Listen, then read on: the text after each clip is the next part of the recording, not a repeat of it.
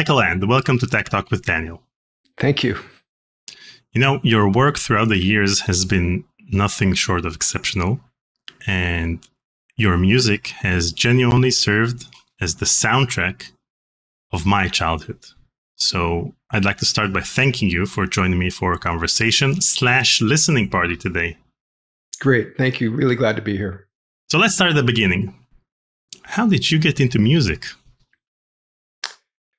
Yeah. Um, I think, you know, my mom got me going in music really young. Uh, the first, my first actual composing work was when I was a toddler. My mom got me a uh, a little toy organ about this big, electric organ, this big wide.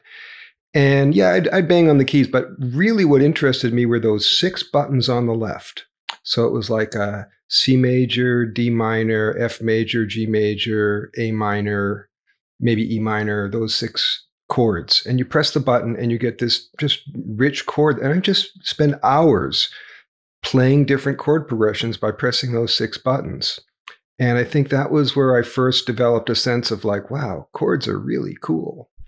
Um, and then, of course, you know, starting at age five, I uh, I was forced to take piano lessons. Um, like all of us. Like everybody, and uh, like like many of us, uh, I didn't uh, practice enough. So Saturday morning was always, you know, terrifying and stressful.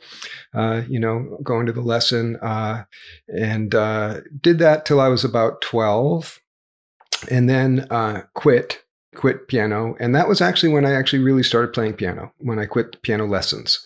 Because at that point, I I would uh, just improvise, and I would do simple things like you know, uh, you know, a, a, Phrygian pattern in the left hand, and then sort of Spanish kind of melodies in the right hand, and little simple things like that. Uh, but just enough to kind of start to really feel the instrument more than when you're just sort of reading notes and mechanically trying to reproduce them. Um, and uh, I also learned a few things just that I really loved. Like my mom early on, she was a pianist and she played the Funeral March uh, by Chopin, a beautiful piece. And um, so I learned that when I was a kid, and I, you know, that was not a chore. That was a labor of love, and I I, I really loved that piece. Moonlight Sonata was another one, sort of in that similar vein. Um, but then uh, when I was 14, 13, 14 years old, I went to camp and when I was at camp, I saw this uh, one night in the in the dining hall. There was this rock band of older kids uh, practicing up on a stage, and I went down and I stuck my head in front of the bass amplifier and spent the whole t- night just with my head in front of the bass amplifier. I was like, wow, this is really cool. I want to play the electric bass. And so I just kept begging me, begging, begging my mom to get me an electric bass. Eventually, uh, you know, the, the, stars aligned. I, I got the right point of leverage and, and she got me one and started getting me bass lessons. And from there, I just dove headfirst into the electric bass. Uh, and, you know, initially I, uh, you know, played rock and you know, Rolling Stones, sort of your your most sort of typical bass stuff, and then got a little further, got into like Yes with Chris Squire and his amazing melodic lines, and then um, at some point, uh, uh, I guess uh, last couple of years of high school, I got very heavily into the Grateful Dead and Phil Lesh's bass playing, which really like hits you in the chest, and it's a whole other kind of experience. And uh, so that really, uh, you know, set a direction there. And uh, meanwhile, sort of around that time, uh, I uh, in college, I uh, I was uh, lucky enough to uh, be accepted into a a class being taught by Ivan Tcherepnin, who is a really great composer from or was a great composer from a great family of composers, and the class was electronic music, and so he uh, his brother actually was one of the pioneers of modular synthesis and so he was an amazing just visionary for how to use um, modular synthesizers and tape music and all the sort of classic techniques of uh, you know electronic music prior to the digital age. So it was all analog. And uh, got heavily into that uh, made made a few pieces that that were really kind of kind of beautiful and interesting and um, that uh, you know, was a great experience that kind of opened up my ears to sort of the, the wider realm of, of, you know, sound and, and music as one big space.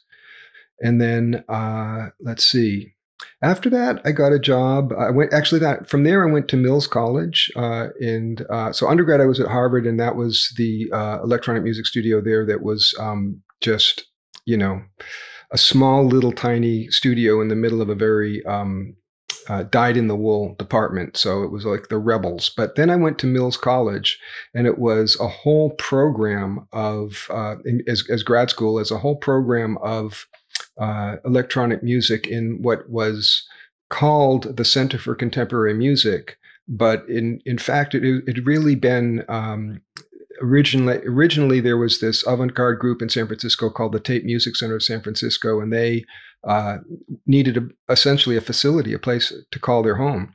And Mills gave them essentially a building or half of a building, and so they set up this center, and that was like an avant-garde mecca of all of the um, you know, electronic music pioneers coming through there, um, giving concerts, giving lectures. Uh, I met a lot of, you know, great um, you know innovators at, in that time. Funny thing is though um, i didn't really do music there because the, there was such a uh, such an avant-garde aesthetic that it was so harsh to the ears. I, there was a, a, sense to me that uh, the more difficult it was to listen to the more valued it was and that just didn't really align with you know the little kid who pressed the buttons on the toy organ right?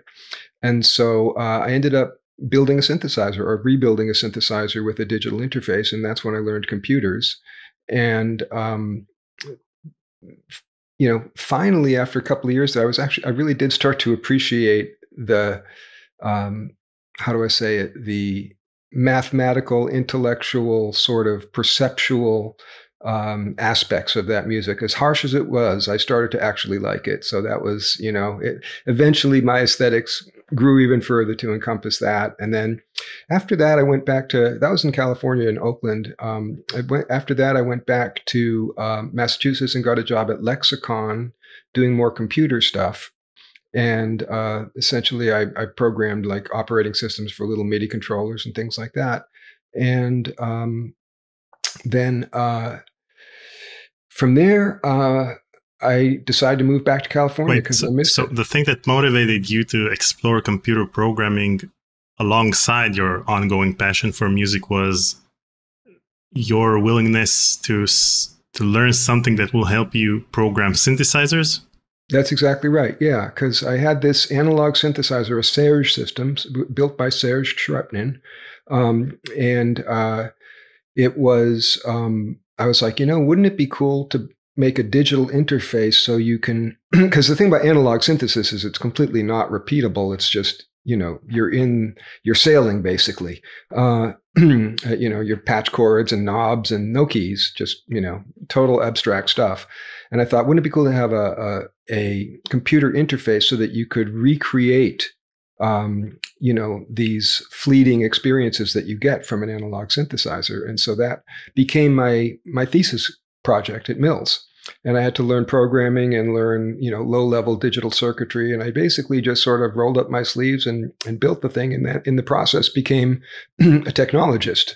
So I went to I went to electronic music school and ended up becoming a technologist, kind of kind of a curveball.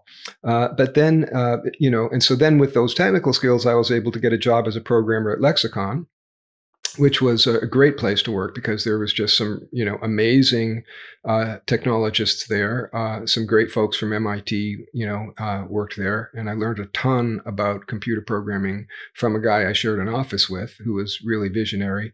And uh, after that i was like you know i just miss california so much. So i moved back to california still working as a consultant for lexicon and then that sort of that consultant work eventually kind of tapered off. And I was like, okay, I got to get a job. And, you know, my mom was like, well, you know, you should look in the newspaper. I was like, come on, there aren't any good jobs in the newspaper. And then, uh, so I looked and there was this thing that said, you know, sound design, C 8086. I was like, wait a minute, sound and computer programming? Hey, I can do that. So I applied and it turned out to be uh, the job at LucasArts. That was, uh, uh, you know, David Fox was the hiring manager, and you know, I was interviewed by Noah and you know Brian Moriarty. All those folks were were there at the time, um, and uh, I got the job. So, and uh, you know, it's funny thing about the, the getting the job because uh, I think I did well in the interview, uh, but my um, you know, and it was actually interesting because they had worked with a, a, really great consultant, Dave Warhol, who had done their their sound uh, code before, but I think for some reason he wasn't able to continue doing that. So they needed somebody who could do both, you know, the sound design, maybe a little bit of music, and also write the low level sound drivers. And I could do all that. And you know, I was like, I like, I want to work from the top to the bottom. I, you know, the whole stack. I want to take responsibility. So they were like, great, let's give it to this guy. Um, but the one piece that that didn't quite fit right away was my demo tape because my demo tape had a lot of uh, you know sort of abstract sort of uh, you know some of it was pretty but most of but n- none of it was you know sort of like what you would think of as music for picture which is a whole other deal than just you know abstract music. And so um, after the interview, some during the interview, I remember Noah mentioning something about a game having some Nazis in it, and I was like, ah, I know what to do. So I went back uh, to my apartment and I wrote uh, a Nazi theme. Um, and uh, I sent it in and said, you know, just so you know, I can write quote unquote normal music. You know, here here's a Nazi march, and uh, that ended up becoming the main theme for Secret Weapons of the Luftwaffe. That actually shipped in a game, so that all worked out pretty well. So when did you start working at the LucasArts exactly? That was uh, spring of 1990, and I worked there until spring of 2000. So you know, almost exactly 10 years. And what was your first day at LucasArts like? Oh boy, it was. You know, it's it's kind of awe inspiring. Um, the uh, you know skywalker ranch is in a just an amazing place and so you know they give you the the tour and you see you know oh look there's an actual lightsaber in a cabinet and oh you know this and that and stuff that's like you know you look at it and you go oh my god that's that's the real thing you know a little x-wing model that like oh that's from the movie right? So things like that are kind of um, amazing. The the main house is just the architecture is you know it's unbelievable because it's it, it, you know when George built his ranch he uh, he started with a story as you would sort of expect from someone like George of a, of a sea captain who had some daughters and blah blah blah. And so it, it, it really had this feeling to it of it's old but also kind of I mean brand new and of amazing quality but it had this sort of kind of old Gothic, not quite Gothic, but just this old sort of architectural quality to it. When you walk through, you're just like, this, I've never seen any place like this. Um, and uh, you know, it's like, oh, here's a grand piano, and you know, by the way, if there's a if there's a sign that says reserved for Linda, that means Linda Ronstadt needs to come down and play it. So you know, stuff like that just kind of makes you go, whoa. And um, and we were working at the time in the carriage house, uh, so the games group was called Lucasfilm Games at that time, and so that was a you know a beautiful facility. Um, but they didn't have any room for me there, so they set me up in the in the I think called the Bridge House, which is a, a different building a little ways away. And uh, so I had you know a little studio that I set up outside on a kind of a patio, closed patio above a brook, and uh, you know it was just like unbelievably idyllic and you know and and yet the security is you know you don't see the security but there's incredible security. So it's just he just nailed everything. They did it all right. So it's awe-inspiring and, and beautiful and i was just like i'm amazed and felt so lucky to be there. And what was the first project you worked on at lucasarts? The first you know i we shipped that that German March, but that wasn't something I worked on as an employee. I did that prior to being an employee. Monkey Island was the first thing I worked on there, and I think the Monkey Island theme was the was the first tune I wrote. So um, it kind of started at the top and went down from there. it was uh, yeah, I, I remember um, the the game was um, in production, and uh, you know it was. I think it was pretty far along. It was going to be released that year, at the end of the year. And uh, so it was like a scramble, you know. But the other thing about it is that um, you know, we used the the old uh, sound drivers that um, had been done by Dave Warhol. I didn't have to write any code for that game; it was only music, and there wasn't a ton of music. And we also had an outside group called Earwax uh, that helped with some of the pieces. Um, so uh, that was uh, Andy Newell and uh, Barney Jones, and um, you know the uh, it was really you know I had like a DX7, but the um, as a as a keyboard controller and um, the I forget what was I think the sounds were driven AdLib sounds if I remember correctly. So it was kind of like very low tech, uh, and of course you also had to uh, ship Actually, no. Now I remember, it was we did. I was working off of an MT32, so you, you know you'd compose for the MT32, and um, then that would be like the definitive version that maybe five percent of the audience would have, and then uh, there was uh, you'd have to reduce it down for the AdLib version, which maybe 80% of the audio had, which was okay, but now you're talking like, you know, a little more toward the realm of beep, bleeps and bloops, but still perceptible as different instruments with different timbres and polyphony and all that. And then the third version that we had to do was the uh, PC internal speaker. And of course, that was a monophonic square wave. So it was actually kind of a uh, always a little puzzle because you, what you would have to do is uh, you know figure out how to get the bass and the melody to happen at different times. So whatever the melody was, you plopped the bass notes in between those melody notes, and then with whatever gaps were left over, you would do a little flam chord, like a little three note chord, but one after another. Uh, and you know you could get some pretty good you know renditions of things that were recognizable that way but it was it was a real challenge now around the same time we'll talk about the secret of monkey island in a minute but around the same time a game called night shift was also released by lucasarts and right. you're credited for music adaptation what can you tell us about that adaptation? Boy, I have to be honest. My memory of a lot of things is pretty foggy. Um, Let me I, jog your memory. Okay.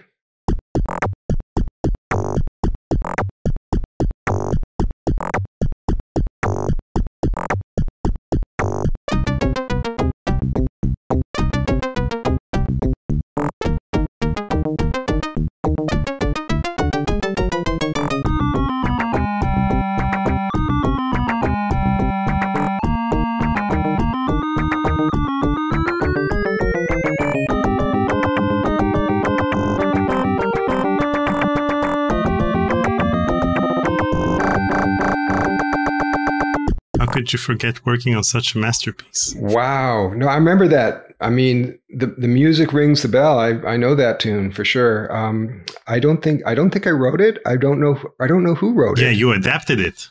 Yeah, it might have been written by Earwax. It kind of sounds a little bit like an Earwax kind of tune, um, but I couldn't say for sure. Uh, but yeah, that's uh, and was that was probably an AdLib version, I'm guessing, um, or CMS. There was another thing that was sort of similar to an AdLib, but wasn't quite the same. Uh, but yeah, that uh, I definitely remember that tune. Yeah, it's a cute little tune. The music is credited to David Lowe. David Lowe. I don't know who that is.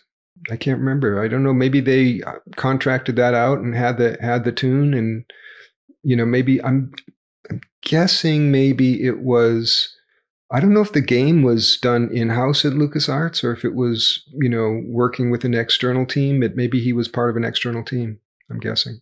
Night Shift and The Secret of Monkey Island both came out in October of 1990. And since you came, since you joined Lucasfilm Games around spring 1990, then that means that you joined around the same time when they just released Loom. That's right. Yeah. Loom had just gotten out or was, yes, right around then. Yeah. It was uh, beautiful. I remember loving that one. Yeah. Swan Lake. Yeah. So, as you said on The Secret of Monkey Island, you're credited for music along with Barney Jones and Andy Newell from Earwax Productions, and Patrick Mundy. Patrick Mundy, yes, he was a tester, and he did uh, one of the tunes. He was um, it was the Jungle tune. He did the original version of the Jungle tune, and then I reworked it a little bit. But yeah, that was his original concept. And what was Barney and Andy's contribution to the soundtrack? So yeah, uh, Barney did the uh, Scumm Bar theme. Andy did uh, the that organ piece in the church, uh, and um, I think what else? Uh, the the either or both of them together did the circus theme. Um, and I'm not sure what else off the top of my head, but I know that they did those three. Awesome. And you talked about composing the main theme of Monkey Island. Can you shed some light on the process of composing this iconic theme? Yeah. Um, so uh, it just, you know, I was, you know, in my apartment one day and I was, you know, not trying to compose anything. Um, I was just uh, noodling on, it was an organ patch on a DX7, just, you know, typical sort of synth organ patch, along with some digital delay that kind of gave it a kind of an echoey thing. And so I started kind of playing a reggae groove with it, and junk, junk, junk, junk, junk, junk, kind of that kind of thing. And um, oh yeah, I forgot to mention, by the way, that one of my musical adventures early on was uh, very relevant to Monkey Island, which is I had um, played keyboards. Uh, I got a gig somehow through some connection uh, in a just just for one one night show uh, with a guy named Josiah uh, Kintalk, who uh, was it was a one of the percussionists in Bob Marley's band, and then went off to do his own his own stuff. And uh, so I was playing keyboards, not bass. Um, he had a, a, an amazing reggae bass player, and this guy, you know, and, but but I got like this. How do I say it? Uh, it was so authentic working. You know, they they also had a drummer. I forget the drummer, but the, these two guys, the bass and then Josiah on percussion, uh, they they embodied the reggae music in a way that you, you know you don't normally get access to as like you know a white guy in the suburbs you know you can listen to bob marley but it's not the same because like josiah was saying things like you know my hands i can tell stories with my hands and, and he did. Like he, the way he would do his fills were like little stories.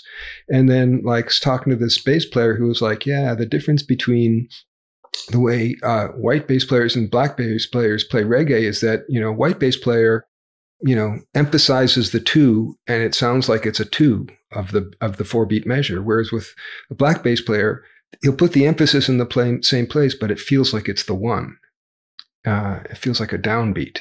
And and it was like stuff like that. So th- those were the sort of building blocks that i took when i was doing the monkey island score. I had you know sort of how do i say it? I, I, I had been given the keys to unlock you know how to make reggae seem authentic. And so, um, so anyway, so I was playing along one day on on these, you know, sort of reggae S chords, you know, sort of me minor,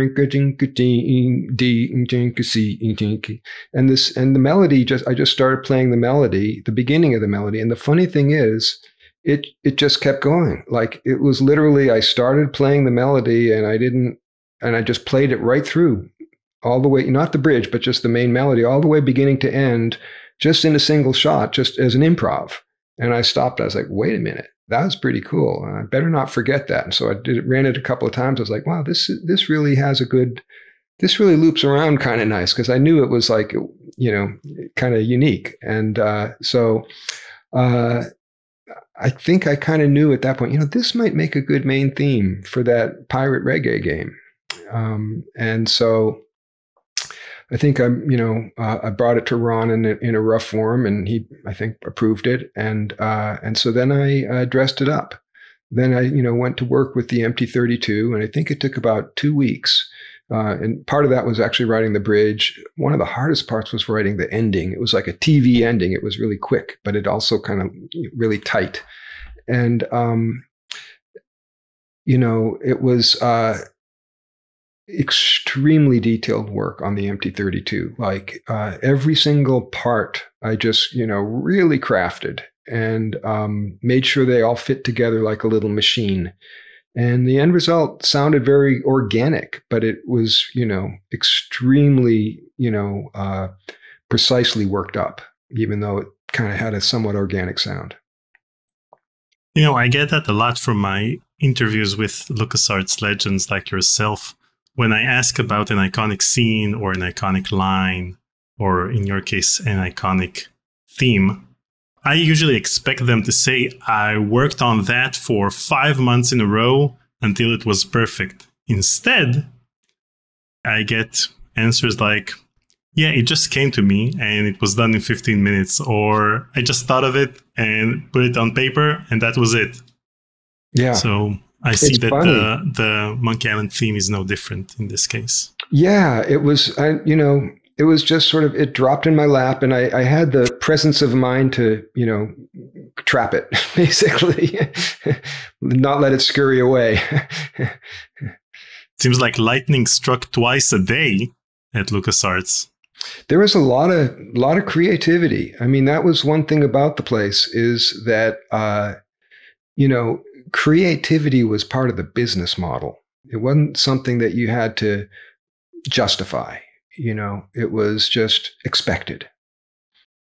Now, in addition to the theme, you have LeChuck's theme, which is also a fan favorite.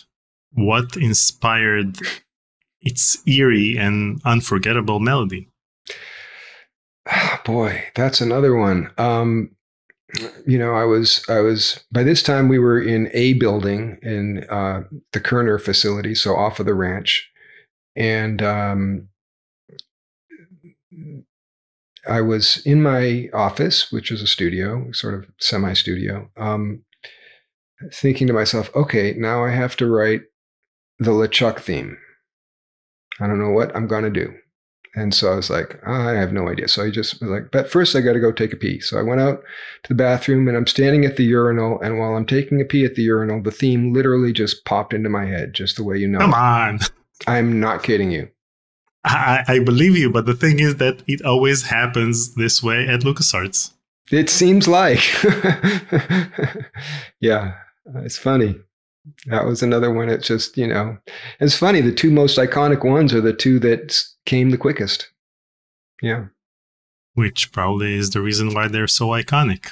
Yeah, you know, it's it's all about setting up the environment f- to be able to receive it, right? Because it's really hard in in modern life to you know create a, a, a state of being where you can be uh, receptive to creative ideas where you're not, you know, feeling stress or feeling like you need to deliver or feeling like you have you're pressed for time or whatever. And the funny thing is, even even under those circumstances, the ideas can come. It's really just a matter of a lot of it is actually being in in a flow where you have the the percolating musical energies inside you all the time percolating and then you know you have to a, a, big part of it is noticing when you have something worth keeping, right? Because you know, if you're if you're if you're percolating music all the time, you've got source material being generated literally, you know, almost every waking minute, right?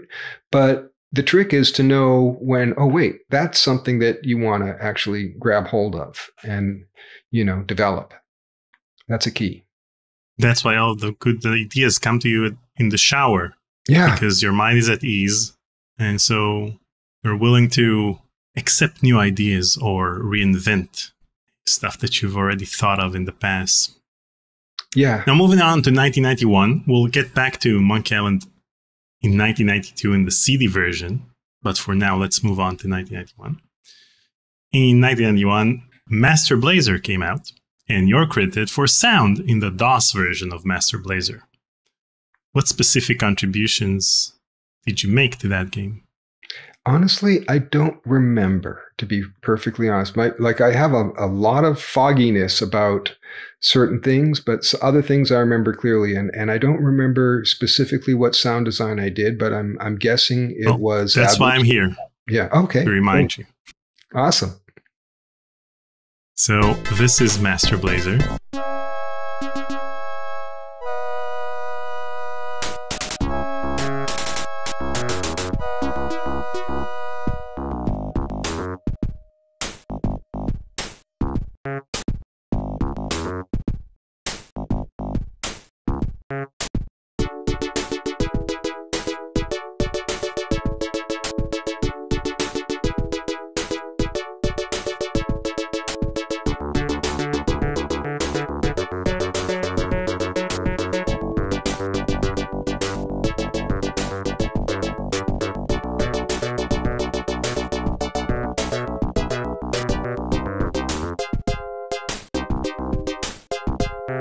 Sound Michael Land. There you are. All right. Sound Michael Land. So let let me skip.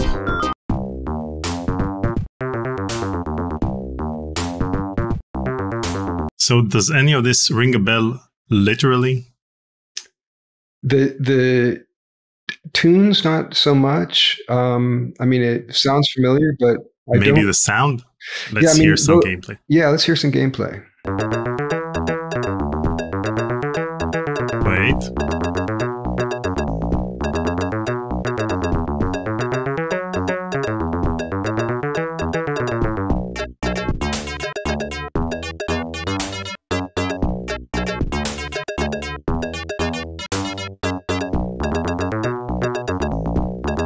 Anything? I might. I'm. I'm guessing that I made those. You know, those AdLib sort of snare hits and things like that. I mean, that was a lot of times what would happen is somebody would compose a piece, provide a MIDI file, and then you have to say, okay, make this sound good on an AdLib card. So it might have just been that. Might that, sounds like what I would have done for that. I can't remember Okay. specifically, but I think that would be what would make the most sense. Yeah, I'm guessing somebody generated MIDI files and said, "Here you go, make it make it play an AdLib." Okay. And the same year, 1991, Secret Weapons of the Luftwaffe was released, and you're credited there for music and sound effects. Now, as you said before, you were in charge of the main theme, which you composed for your job interview. Yeah. Don't tell me it came to you in the shower. No, that one was a bit of a that one was a grind, but I got it to work. Do you? you, you I don't suppose you have a, a version of it I could hear. I haven't heard it for a really long Of time. Of course, I have.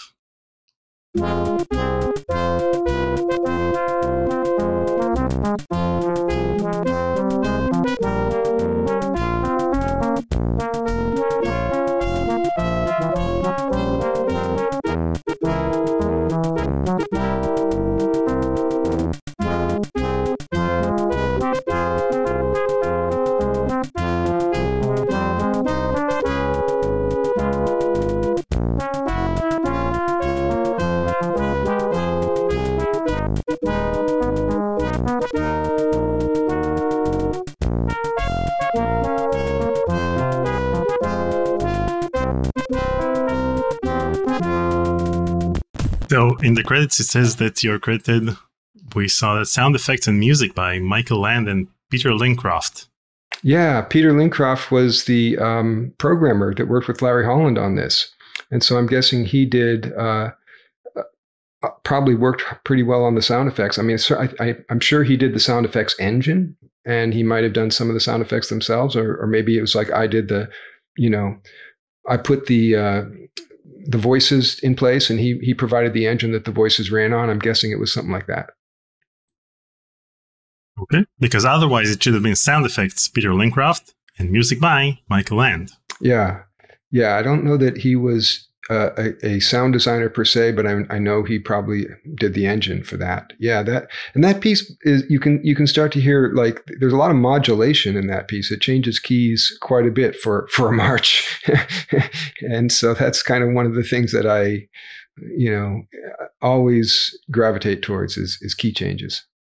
So the theme you wrote in your job interview in 1990 was used as is in this 1991 version, or Yeah, same exact. changed? No, it was the exact same uh, notes, but this was the AdLib version. It also had the uh, MT32 version. Of course, I, I wrote it originally on the MT32, which sounds a lot more like a real brass band. In 1991, you also worked on iMuse. Now, before we get into Monkey Island 2, I want us to talk about the creation of iMuse first. Yeah. What inspired the idea of creating a, a dynamic music system like iMuse? And what goal we're trying to achieve by creating it? So, really, it was necessity being the mother of invention. Uh, so, in Monkey Island One, the uh, you know the traditional music engines for games, you had two things you could do. You could make it loop, and you could make it fade out. Uh, in addition to just start and stop. And that was very limiting because, you know, the game itself had so much dramatic richness and so many just gorgeous sets uh, by Peter Chan. And just, you know, it had so much going for it in the other media that, you know, comprise a game. But, but the music, you know, the, the notes were, were nice. I mean, the, the, the, the, tunes were good but the ability of the tunes to conform to the game were extremely limited. And so uh, that was the motivation is to say, no, wait a minute. We want to be able to have the music actually support the game dynamically so that, you know, it's not just start the loop, stop the loop, but you can do other things. And what would those other things be? Uh, those would be um, having the music seamlessly transition from one part of the music to another part of the music based on something that happens in the game, or having the texture of the music get thicker or thinner, adding and removing instruments, changing the orchestration, uh, depending upon what was going on in the game. Those were really the two main uh, aspects of, of improvement. We, we thought of the first one as being horizontal, meaning you're going to some other place in the score based on gameplay, and uh, the other being vertical, meaning you're you're layering the layer cake differently depending upon what's going on in the game. And, and believe me, horizontal and vertical covers a lot of ground. so um, that was the you know original motivation, and uh, you know, I think it was probably around January ish of uh, 91 where I, I wrote up a, I was like, okay, I think I know what this, what's needed here. I wrote up a specification, like a 30 page document saying, okay, it needs all these function calls and all these capabilities. And I looked at this thing, I was like, I can't do this alone and score the game. And so uh, I called up Peter McConnell, who was an old friend of mine. Um, we'd gone to college together and uh, played in bands together, and we worked at Lexicon together. So we had a lot of history. We we lived together in an apartment at one time. So uh, I knew he was the right guy. He also had, uh, you know, uh, programming skills and composing skills, um, and uh, you know, basically brought him in, and uh, he he got you know hired at Lucas, and um, we set out to build the system together. And, uh, you know, we kind of uh, initially split up the work where uh, he would do the authoring tool. We called it. So at that time in Lucas, there was a tradition of, of naming the various tools for bodily fluids. Uh, and so they had, you know, uh, a tool called Earwax that they had done that they used for auditioning sounds using the old uh, sound driver. And so we thought, okay, well, we're going to get the wax out of the ears here. So we're going to call this tool Q-tip. So we called this tool Q-tip. And so Peter wrote uh, Q-tip and I wrote the, uh, the underlying engine. It was basically a MIDI based engine, a MIDI player uh, that um, had the ability to uh, interpret system exclusive uh, messages. So system ex- in the MIDI stream, you have note on, note off, you know, different kinds of controllers for pitch bend. You also have these things called system exclusive messages, which means it's a message that is designed specifically for some system. It's like a private message. And so we used these system exclusive messages embedded in the MIDI data in order to uh, essentially convey different either commands or you know uh, split points, you know, points of, of divergence where you could, you know, jump from one location in the music to another. Because you can't just, in music, you can't just, you know, if you just are at some random moment in the music and you decide to jump to some other location, it's not going to sound good because it's just not, the beats aren't going to align. Maybe the melodies aren't going to align. And so you have to be able to uh, restrict the, the choices to something more like a grid work and so these system exclusive messages provided that grid work. And they also provided uh, the ability at certain points in the music to turn on and off a melody. Like if you're if you have a melody that you're going to either be turning on and off dynamically, you can't usually just start that melody at any random spot because it's just not going to be the melody if you start three notes in. You have to start either at the beginning or, you know, it has a natural phrase which pauses and that you that's another spot where you can enter or exit. So, you know, you want to have these melodies have integrity. And so you have to manually as a composer decide uh, which spots in the in the music are going to be able to, you know, jump horizontally to another spot or which spots in the music are you going to be able to turn on and off different parts? And so that was all handled in system exclusive messages that were interpreted on the fly as the MIDI was playing. So the MIDI is playing all the music, but it's also simultaneously interpreting these messages as to sort of the, the meta plan for what the music can do. Um, and so that was a ton of work. Um, and we uh, you know worked on that all spring i think into the summer. And of course at that point the schedule is starting to look pretty scary because this game's going to ship in the fall. And so at that point we are like we need clint. So we also you know clint was an old friend of mine from high school. Peter and i knew him. We again the three of us had played in bands together. So um, we brought in clint as as an extra composer. Uh, and also i think he did a lot of the sound design as well in in monkey 2 i'm not sure and um, so that was the uh, the technical process to get the system done. And then, of course, you know, we had made a commitment with Ron. Ron signed off and thought it was a good idea to do wall to wall music in Monkey 2, meaning, you know, we didn't want there to be big chunks of silence. It just didn't feel right. So we committed to doing a ton of music. We committed to doing a complex new uh, technical system underlying the music. And we started, you know, churning out the, and we had to, you know, ship it for three different um, platforms, you know, the Roland that we composed on, the AdLib, and the PC internal speaker. So we brought in a few couple of other people to help with the conversions of those and uh, it was a big production. And the, the, the practically the toughest part was um, the the fact that integrating the commands to command the music to do this and that at different times was done in was done by the game programmer. So the game programmers would literally have to know, okay, set this particular jump hook at this moment or turn on and off this particular part at this moment.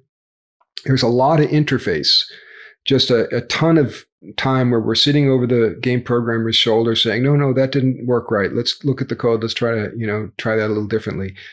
Uh, and it was kind of sheer madness. And it sort of along with that, I I I did the whole wood Woodtick thing where there was like a separate ending for every one of like you know every two measures there was a different ending on a on a piece that had like six different iterations. So it was like you know 150 different endings so that everything worked smoothly. And just the amount of audaciousness really to to be able to think we could actually pull that off was kind of crazy. And it was extremely stressful. But finally you know we did manage to pull all those threads together and, and get it done. And and you know we proudly didn't delay the game's shipment, which was the big red line you never want to cross. Uh, and so, yeah, that was uh, a massive effort. And it, and it, you know, the funny thing is that after all that effort and all that work and creating such a, uh, you know, innovative, seamless score with, you know, uh, a lot of really fun tunes in them, and they all, you know, molded to the game really quickly. There was crickets from the uh, you know the, the the public as far as hardly anybody really noticed that the music was doing anything special. And you know we said to ourselves you know that probably means we did our job right because everybody feels like the music is just the way it should be so they don't even notice it. And so we you know over the years of course there's been a lot of you know lingering recognition of what that achievement was. But at the time it was it was interesting. We thought there'd be a lot more uh, appreciation for for the for for what it took to get there, but it, it I think it just sort of faded into the overall texture of the game, which is ultimately a good thing. Now, what specific techniques or algorithms does iMuse utilize in order to smoothly transition between the different musical tracks in real time? So it's all composer defined. So uh, there are no algorithms. It's literally the composer will uh, say you're writing a piece of music and there's like a, a, great example i think is the largo music at the beginning where there's a bridge uh, to the mm-hmm. tune uh, but you don't actually get into the bridge of the tune until I think it's when he starts beating you up or something along those lines, where there's something that happens in the exactly. game, and then yeah. and then you get to the bridge. Um, so you don't have any idea how long it will be before that event occurs. So you write a loop, and it's just a you know the the A section is a loop, and then the B section is what you want to get to, and you have to decide as a composer.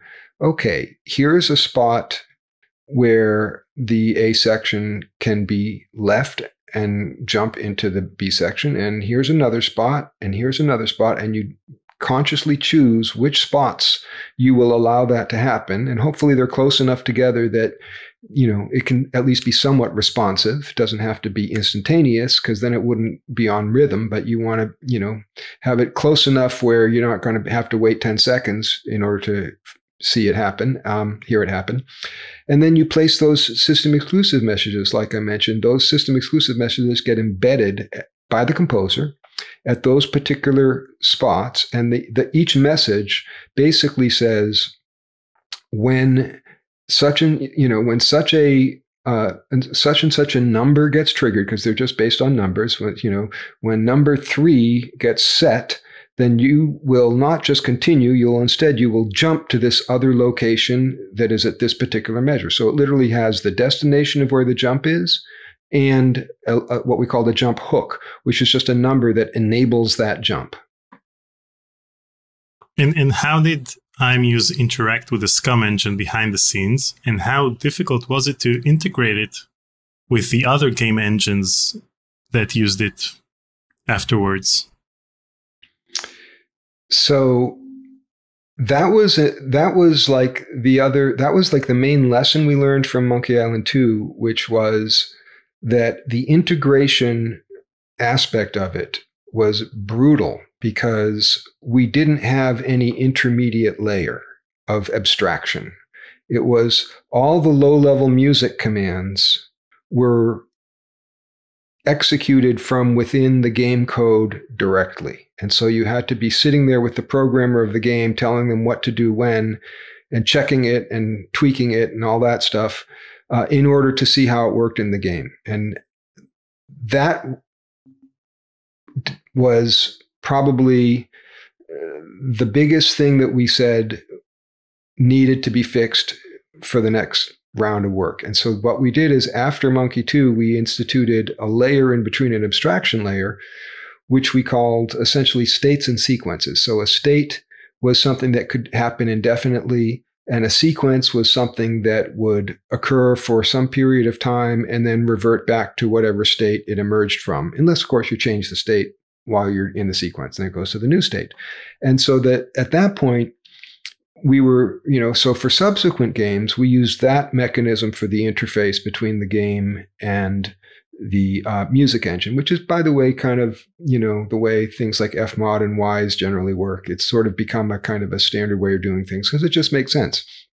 You don't want the game programmer to have to know the musical details uh, of the music in order to make the music respond. You want to basically come up with a common language that both the game and the music system can understand and reduce their interactions down to just communicating through that common language, which in our case we call the states and the sequences. So the game program would say, we'd say to the game program, okay, when you go to this place, set this state. And when this happens, trigger this sequence. And then, you know, you revert back to that state. And then when you go to this other location, set this other state. And then when you go to this, when this other thing happens, set this sequence. And while the sequence is playing, set this new state so that it reverts back to the new state. And so then things worked a whole lot easier between us and the game programmers because we could just give them those simple instructions to t- trigger those simple commands. And we had this layer in, in between, this abstraction layer that would translate from those simple commands into the actual puppet strings that we needed to pull in order to make the game engine do what it does.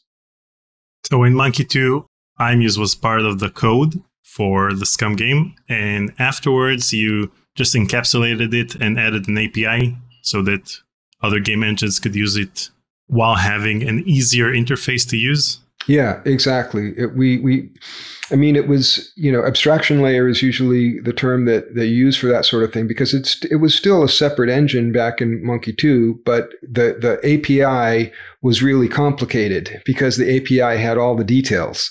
That, and that API was what was called from the game engine. So what we did is we added another layer in between with a really simple API that inside of there is where it called the more complicated API of, of the music engine. And in what ways does iMuse manage memory and resource allocation? For example, in locations where there's a variety of musical themes that can transition from and to dynamically during the gameplay.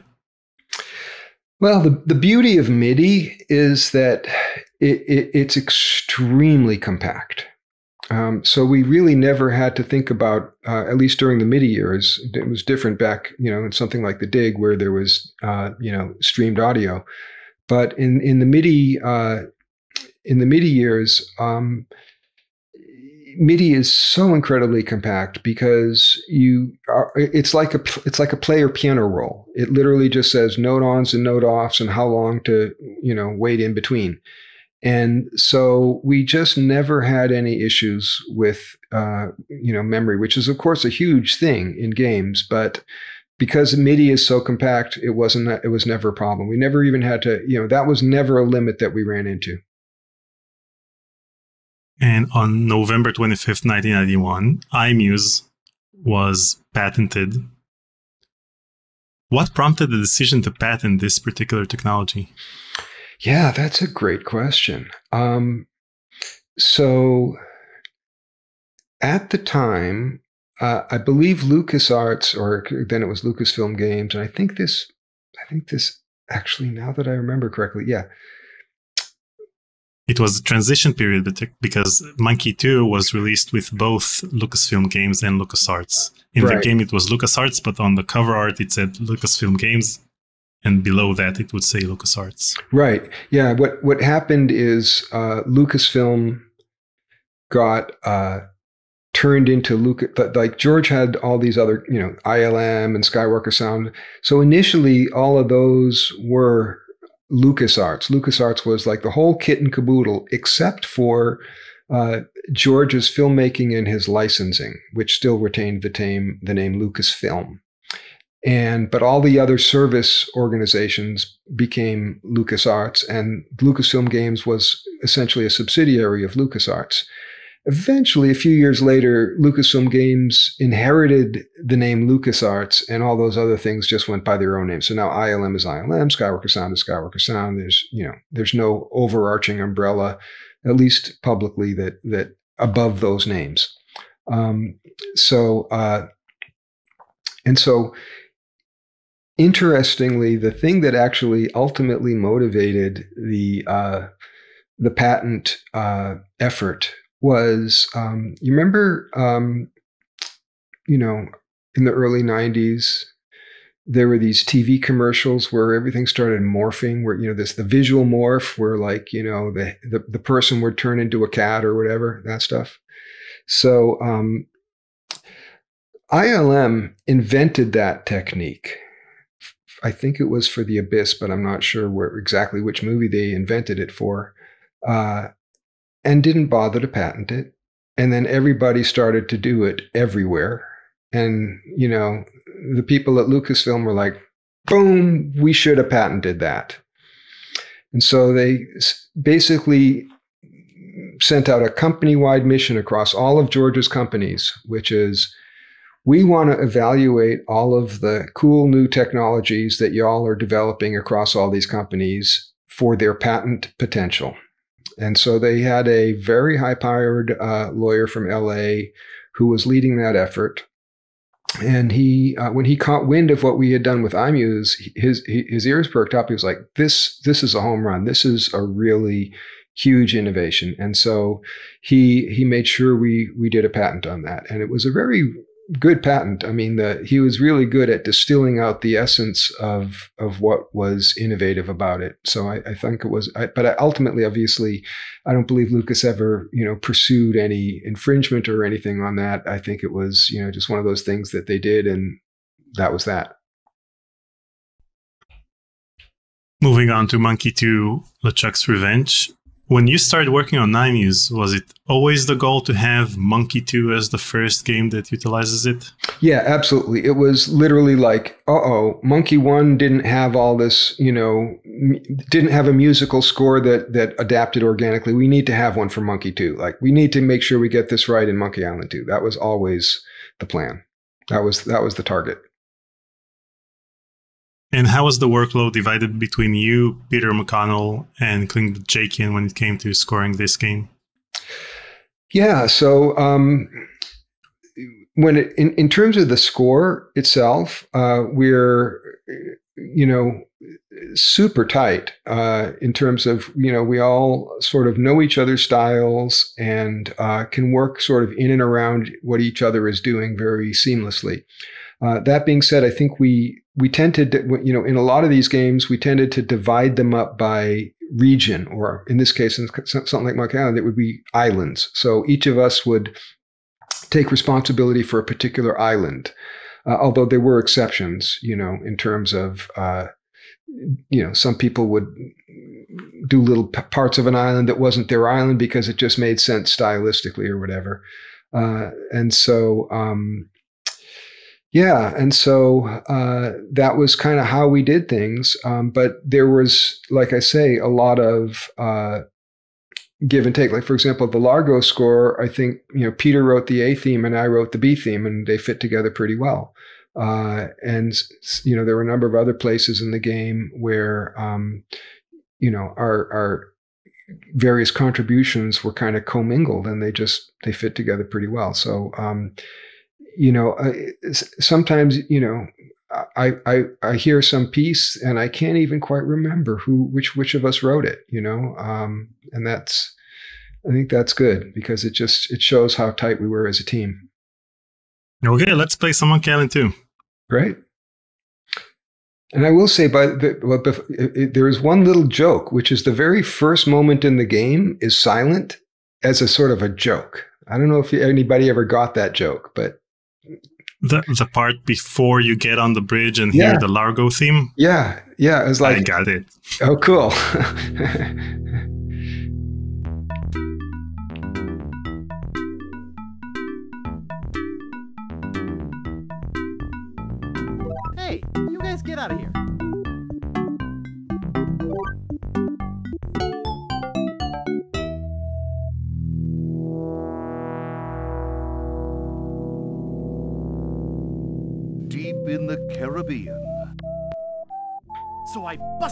church and say, now you're in for it, you...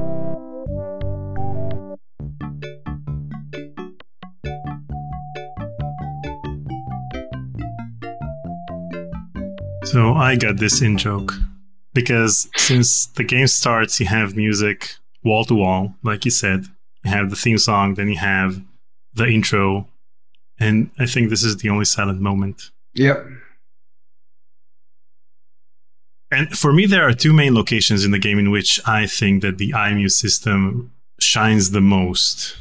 Both are on Scab Island, and those are Woodtick and the Swamp. Yep. And No, so yep. we'll listen to Woodtick in a moment. Where do you think you're going, fancy pants? You ain't from these parts, are you? This is a toll bridge. You gotta pay. I don't pay for nothing. I'm a pirate. Tough guy, huh?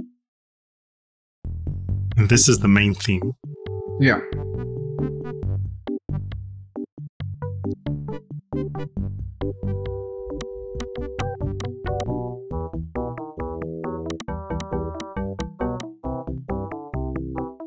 I can't tell you how awesome this is.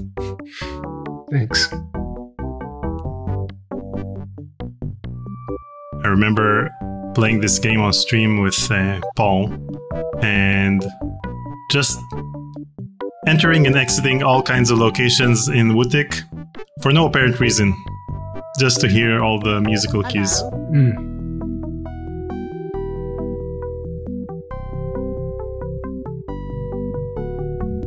Now, in, in you can leave a location, which requires the music to readjust itself to the main theme, and then you can swiftly enter a new location. and this would require the score to perform several transitions at the same time. How did you Yeah. how did you handle such situations? Let me try to let's see if I can recreate. So this is the theme over here. So it, it started, and then if I go over here fast enough,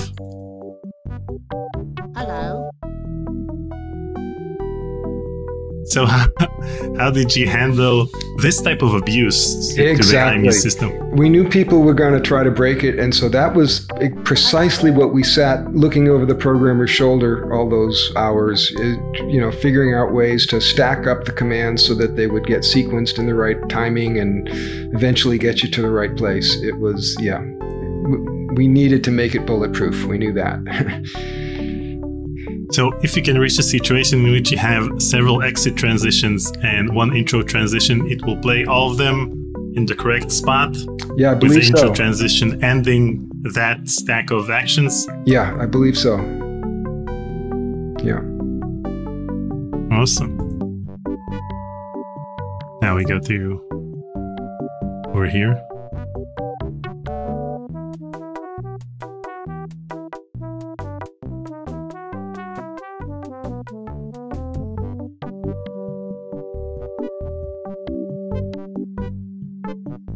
Let's go visit the swamp. Great. Oh yeah, that was another piece, by the way, that Earwax did in the original Monkey One. Was the swamp, the Voodoo Lady music? Unlike Woodtick, in which you needed to, to enter a location in order to hear the changes in the theme and the, the additional themes, over here, I think there are several milestones in Guybrush's journey up to the swa- up to the Voodoo Lady, in which it starts playing new instruments. So, for example, so for example, you hear this is the main theme, and when you enter the coffin, you have one additional instrument. And when you pass the tree, you have another one.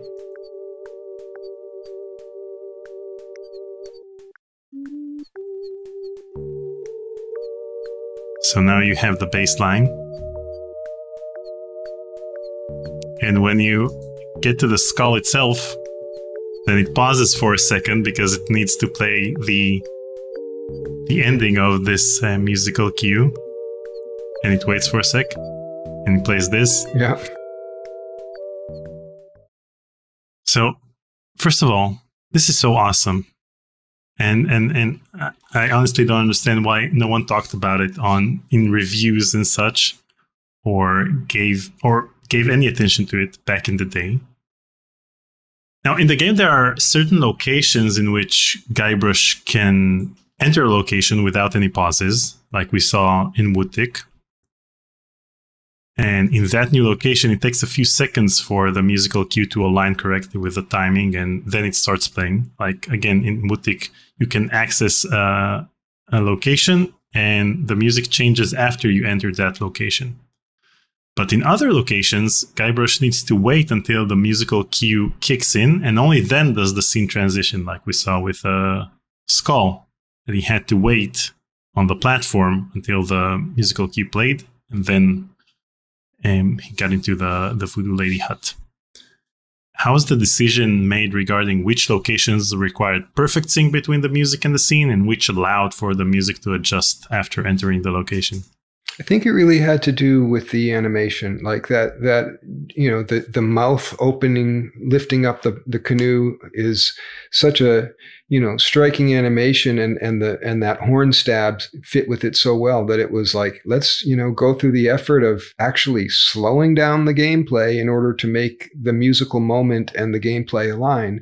Takes a lot to be able to justify that because you know you want to keep the gameplay moving, but in a few cases like that, it just seemed worth it. Um, and generally, though, when when you're just switching positions or you know going into a room, for example, the speed at which the music changes depends on how close you are to one of those boundaries that I mentioned. So if if it happens to be right before one of those boundaries when you go into the room, then you'll get the change really quickly. But if you go into the room right after one of those boundaries, then you're going to have to wait all the way to the next boundary before the music changes. So it's it's very much uh, you know random. But overall, it, as long as it's close enough within a you know a few beats, it usually makes the point pretty well. Now, interestingly enough, in the Monkey Island 2 demo, there are quite a few tracks that were not used in the final game. And I want us to go over two of these tracks, which were from Scab Island. So they were probably created by you. Okay, so we have this one, which is the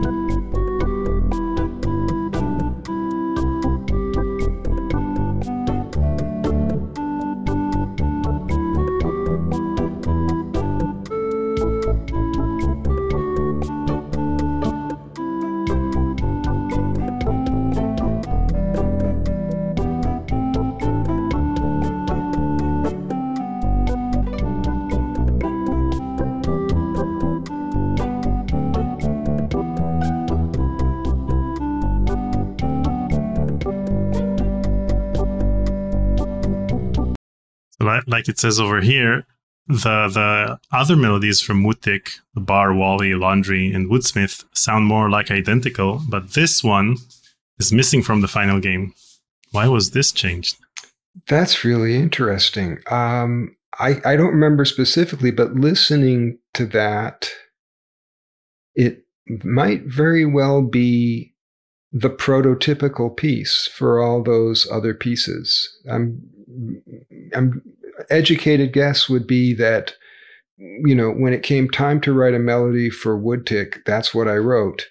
And then you know when it came time to put that melody into each specific location i derived a variation of this tune for each of the locations. But but the original tune wasn't written with any of those locations in mind. So you know it makes sense to put it in a demo but it didn't actually have a place in the game and the second track is the Crypt and Cemetery.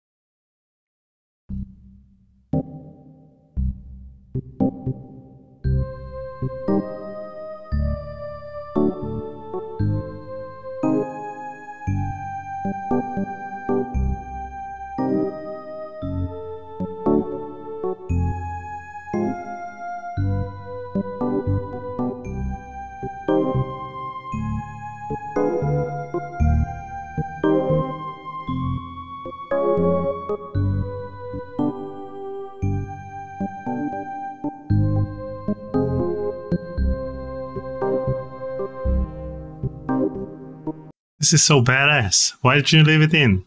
Well, I think the cemetery theme is in there in a different form, right? I think. Yeah. But this mm-hmm. tune, this doesn't have any drums, for example. This is, I think, this was the again the the early sketch because you remember the, the the demo stuff was stuff that got put out well before the game shipped, and True. so yeah, I think this would be the uh, you know the original rendition of that tune, sort of work in progress, so to speak. Uh, and yeah, it's cool. I like it.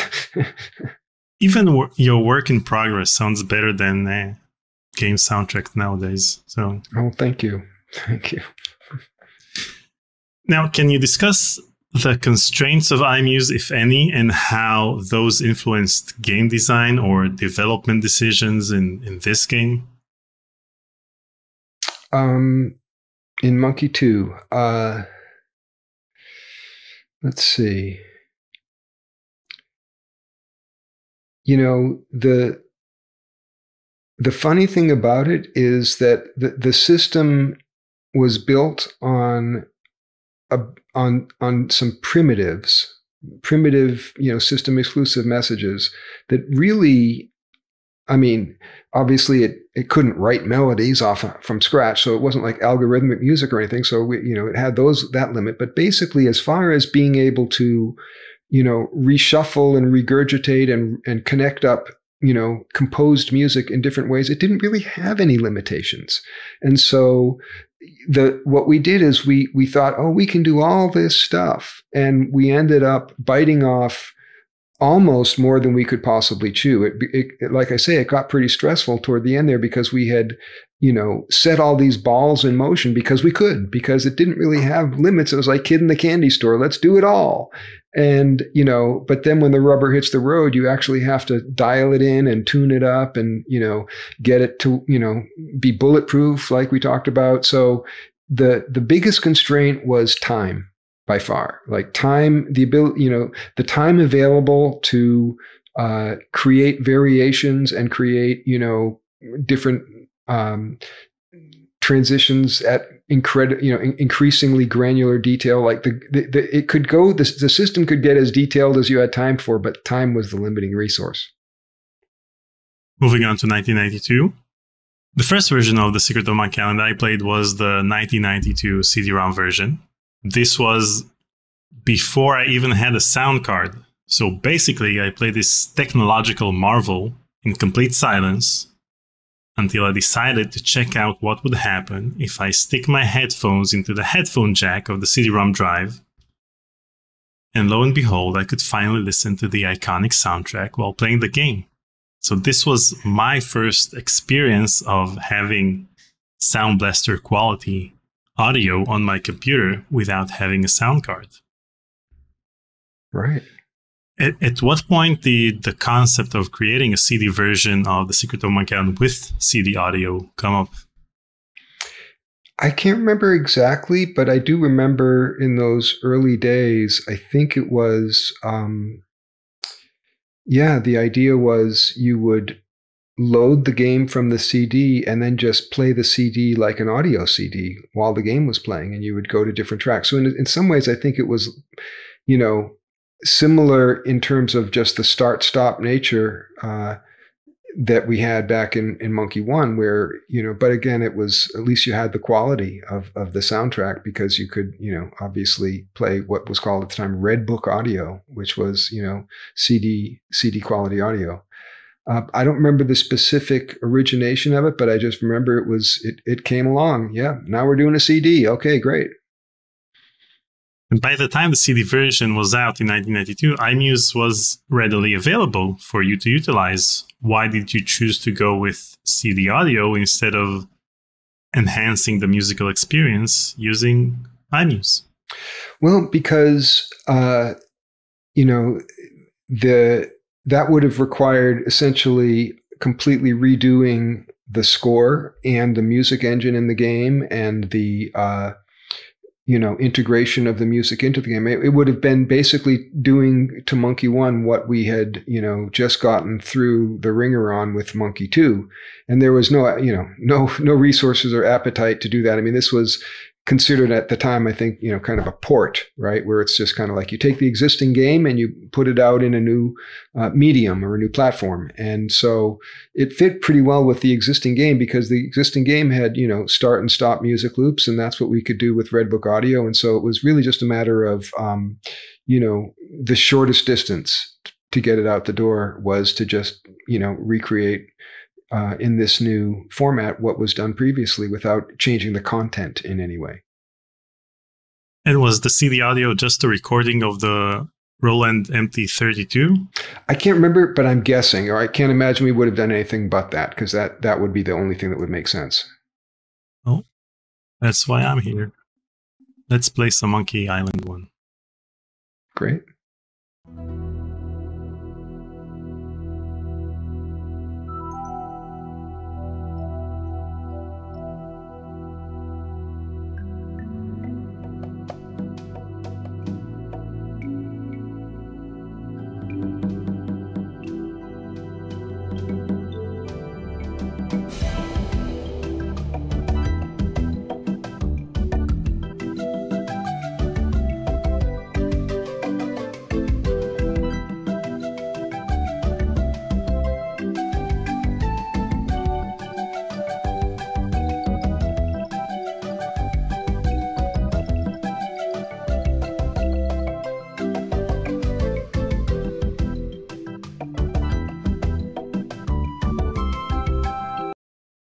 Original music by Michael Land.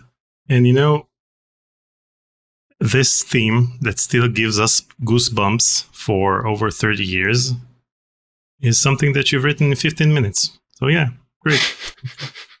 yeah, exactly.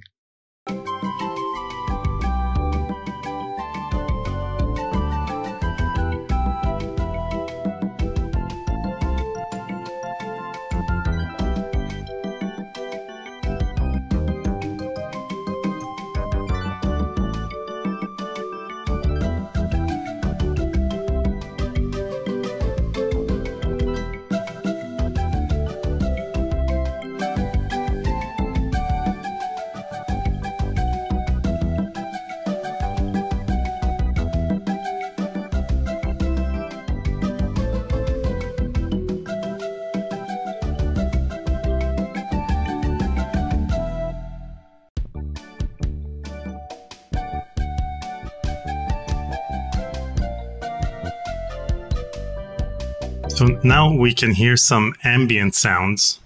Yeah. Was the idea to have ambient sound as part of the CD soundtrack something that was conceived early on during the production of the CD version?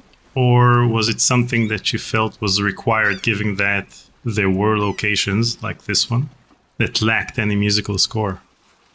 I'm pretty sure it was early in the production. I can't remember exactly, but you know, it would have made sense that people would have said, "Hey, you know, we have this all this CD-ROM space available. Let's use it for background sounds because it would just add ambience and it makes a lot of sense."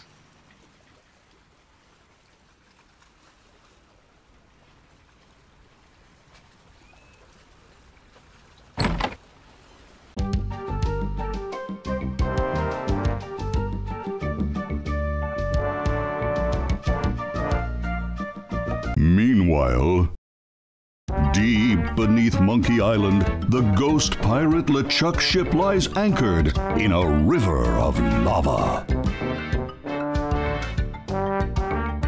Captain LeChuck, sir. Aye.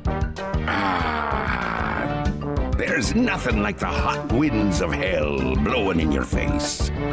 No, sir. Nothing like it. uh, sir.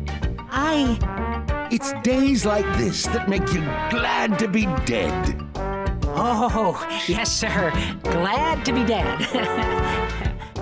We are glad to be dead, right? oh, yes, sir.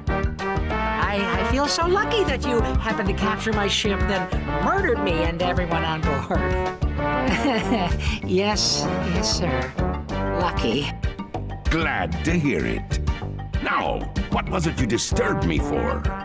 Uh, y- yes, sir. Well, you see, we might have a problem on Melee Island. Problem? What possible problem could there be? I've got those sissy pirates so scared of the sea, they're afraid to take a bath.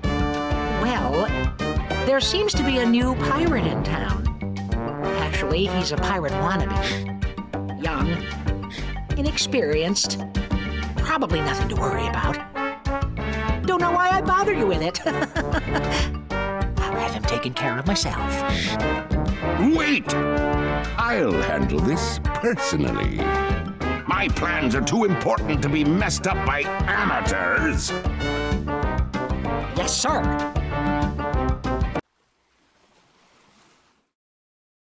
So this theme was written while you were peeing.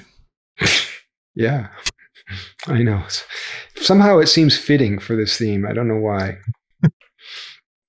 um, You know, sometimes when ideas come to you uh, in the shower, like like I said, then you try to make sure that you don't forget them. So you keep repeating the words or whatever, yeah. so that you won't forget once you come out of the shower. But how does it work with music?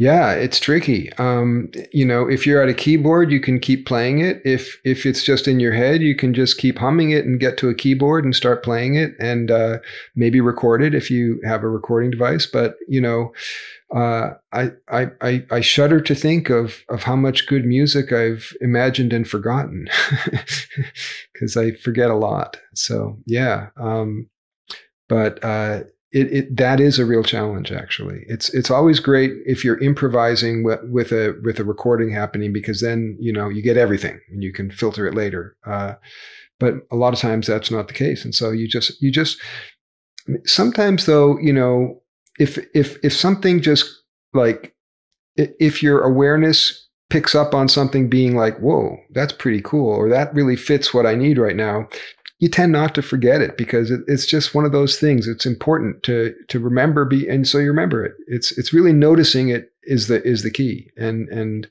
you know being being aware enough to know that that's something that is worth capturing. That's that's really what makes the difference between it just passing away versus actually you know grabbing it and doing something with it. And by the way, I noticed that that um, I'm uh, that and I, listening to that CD-ROM. I'm pretty sure that was um, music where we gave the MIDI files to Earwax, and then they uh, dressed them up with synthesizers in, in their studio. So I think that's where that music actually came from. So it's not a Roland MT32.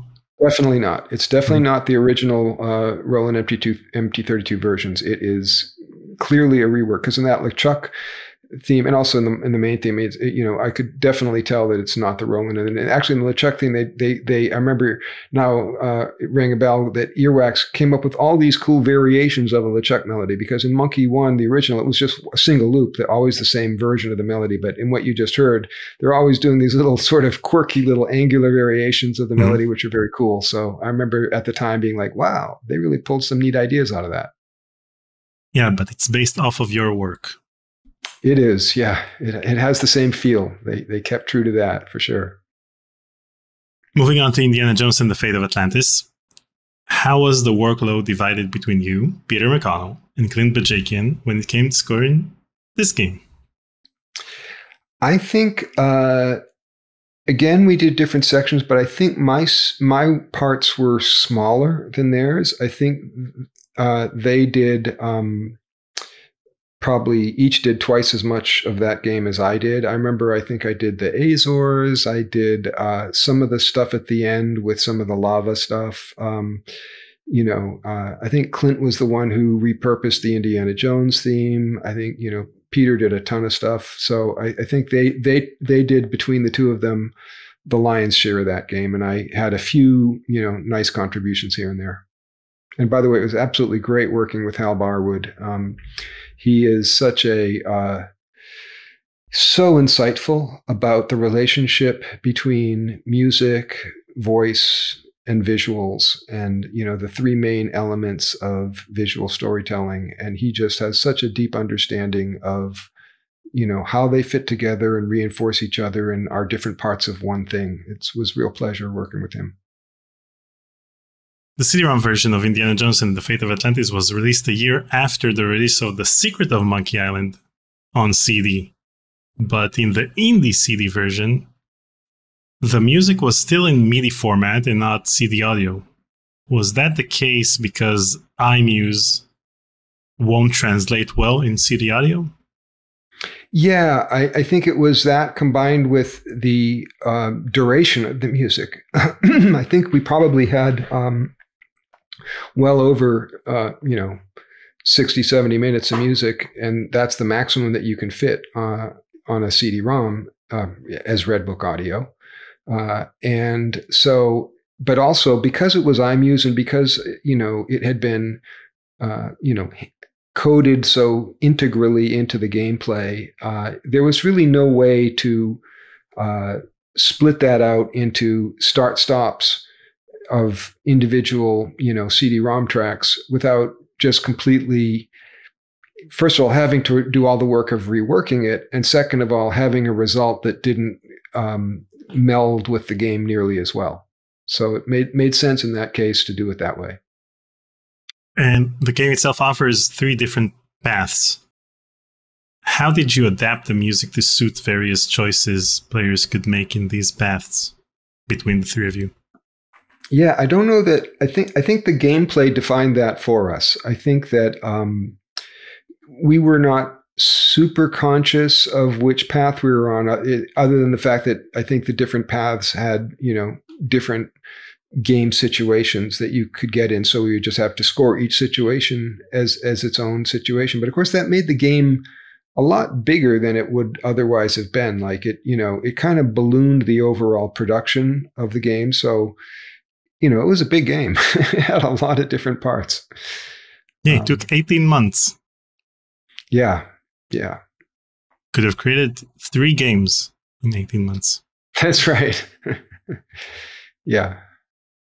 You know, there's an Israeli composer named uh, Nissim Khalifa who's taken upon himself to orchestrate the entire soundtrack of Indiana Jones and the Fate of Atlantis. No kidding. Wow. Yep. I would love to hear that. And we will hear that. Oh, cool. Okay, so these are all of the tracks. Let me know which one would you like to hear. We have the lava room. You want the lava room at the that. Yeah, factory? Let's try Lava Room.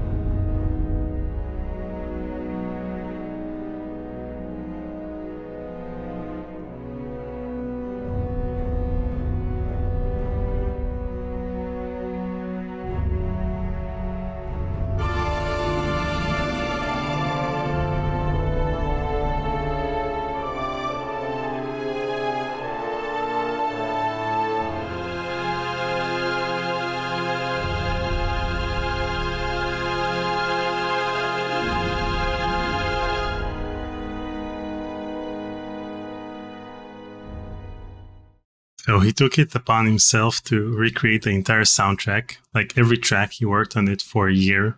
Every time, every couple of weeks, he'd release another track. And he finished the entire thing like a couple of months ago.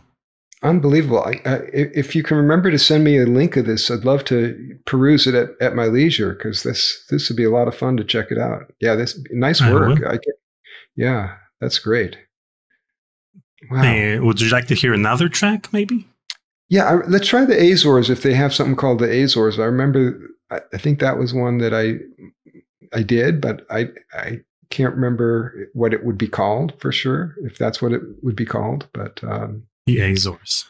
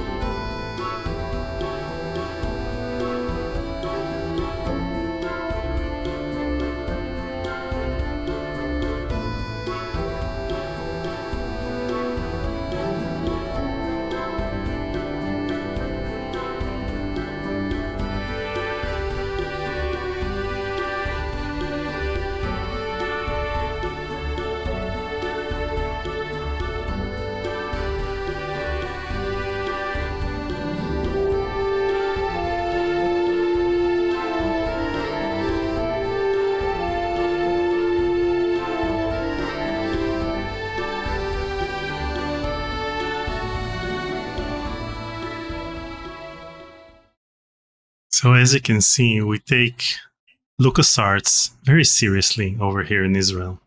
yeah, wonderful. Gosh, I haven't heard that that since I wrote it. That's re- really fun to hear, and uh, it reminds me a little bit stylistically of the cabana music in um, Curse of Monkey Island. So Mhm. it's just funny how different things connect. But yeah, thank you.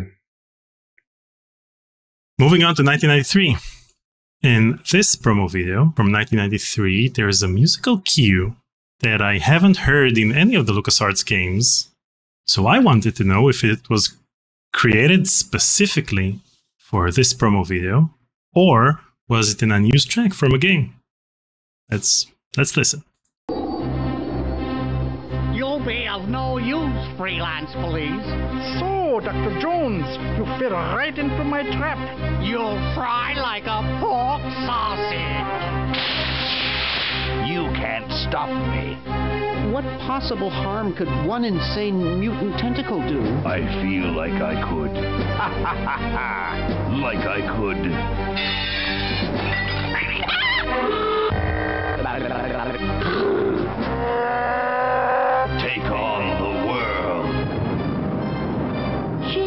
what a grump. So, do you know this musical? I think. Yeah, I think I wrote that. I think is is this like a promo video with a bunch of different games? Yeah. Yeah, can you play the very ending of it? The ending of the promo? Yeah. Okay. You just forward ahead to the end. Work here is done. Now we can go home. Yeah, or maybe a little earlier. Like there was one moment I wanted to r- remind myself of. A couple, like maybe. Yeah.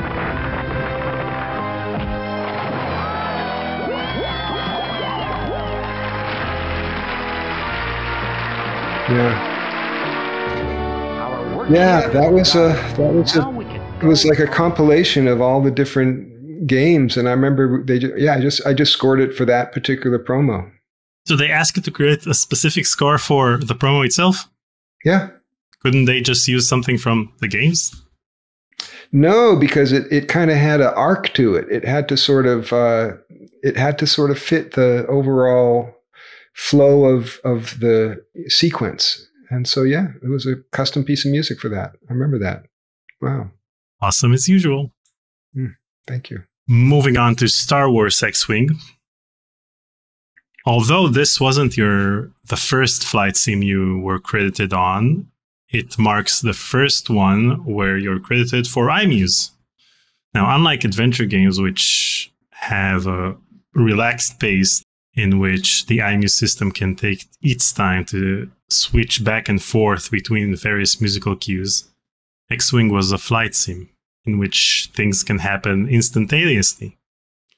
Were there any adjustments that had to be made to the iMuse system to accommodate this type of game?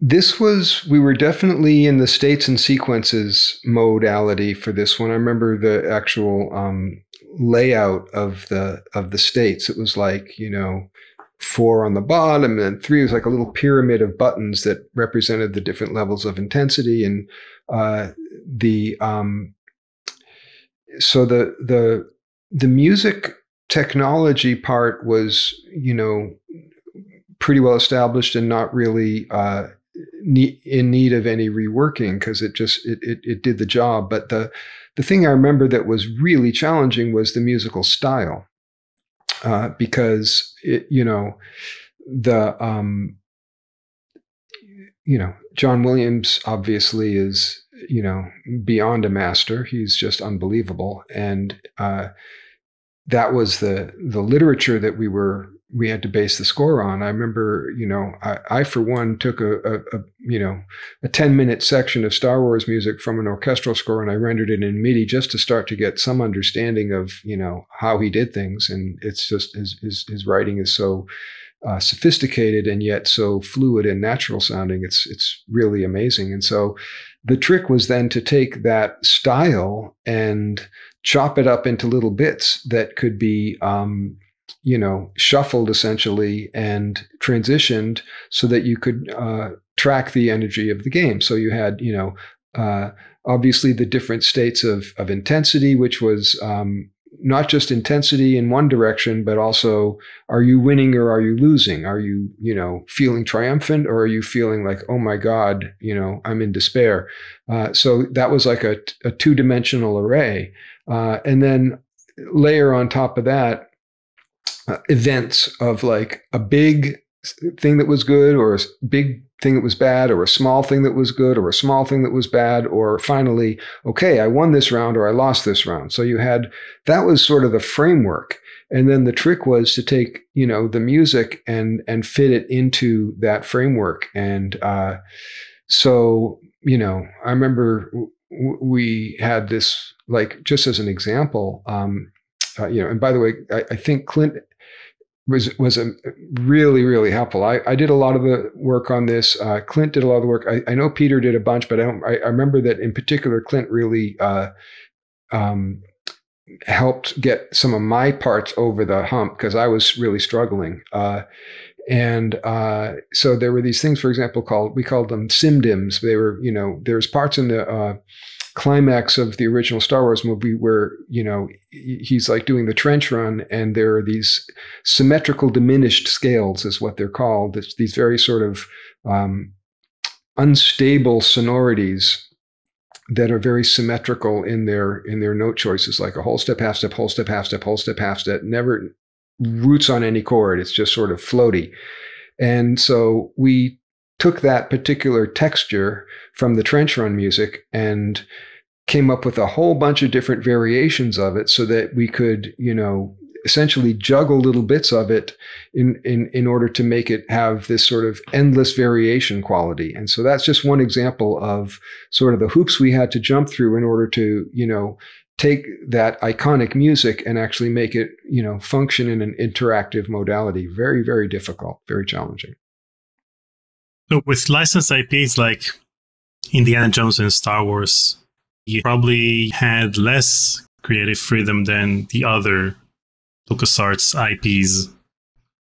Eh, how did you approach the creation of new musical scores in a way that would fit right into the lore of Indiana Jones and, and in this case, Star Wars? So those are actually two very different cases because with um, Fate of Atlantis, uh, obviously there are the um, iconic moments where the Indiana Jones theme kicks in. Uh, but then you have this giant, expansive game with all these locations and all these sort of things where, you know, we were basically on our own for that. We had we did have the creative freedom. Obviously, it had to fit the the, the game's dramatic moment, but you know, you have as much creative freedom there as you would with any, you know, scoring of of music for picture. Whereas with the Star Wars game, with X-wing in particular, um, we we stayed a lot closer to the original score, right? So it was it was less of okay we'll do the main theme and then do whatever we want for the rest of the game and much more of okay johnny williams created this incredibly energetic musical mechanism this sound that just is propulsive and we want to take that and essentially you know clone it 35 different ways that can all fit together based on the gameplay and so it was a much more you know, targeted effort to get exactly the sound that he got, but in an interactive version. So, what you're saying is that if Indiana Jones would have been any other game, then 90% of the soundtrack would still be the same as it is right now? Pretty much, yeah, because, you know, there was only maybe, yeah, 10% that was, you know, specifically derived from the Indiana Jones uh, literature, uh, from, you know, those iconic moments. But, um, you know, Star Wars, we were going for 100% John Williams. Moving on to Day of the Tentacle. How was the workload divided between you, Peter McConnell, and Clint Bajakian when it came to scoring this game? Uh, this was another one where Peter and Clint did the lion's share of it, the vast lion's share. I I think we divided it up by time period, and I think I did the future. If I'm not, I can't remember for sure. Uh, again, you know, we try to find some logical aspect of the game to divide up. Uh, so in in you know some games it's by geographical location, like, uh, uh, but in in the case of um, Day of the Tentacle, it was you know there were three different time periods and so that was an, a, a, natural way to divide it up. And again uh, I, I, did you know my time period i think was the smallest of the of the three and so um, i didn't do as much. But then of course on top of that uh, peter and clint together did the uh, amazing uh, you know looney tune style opening sequence that was just so huge and so fun and so crazy and they they did that pretty much themselves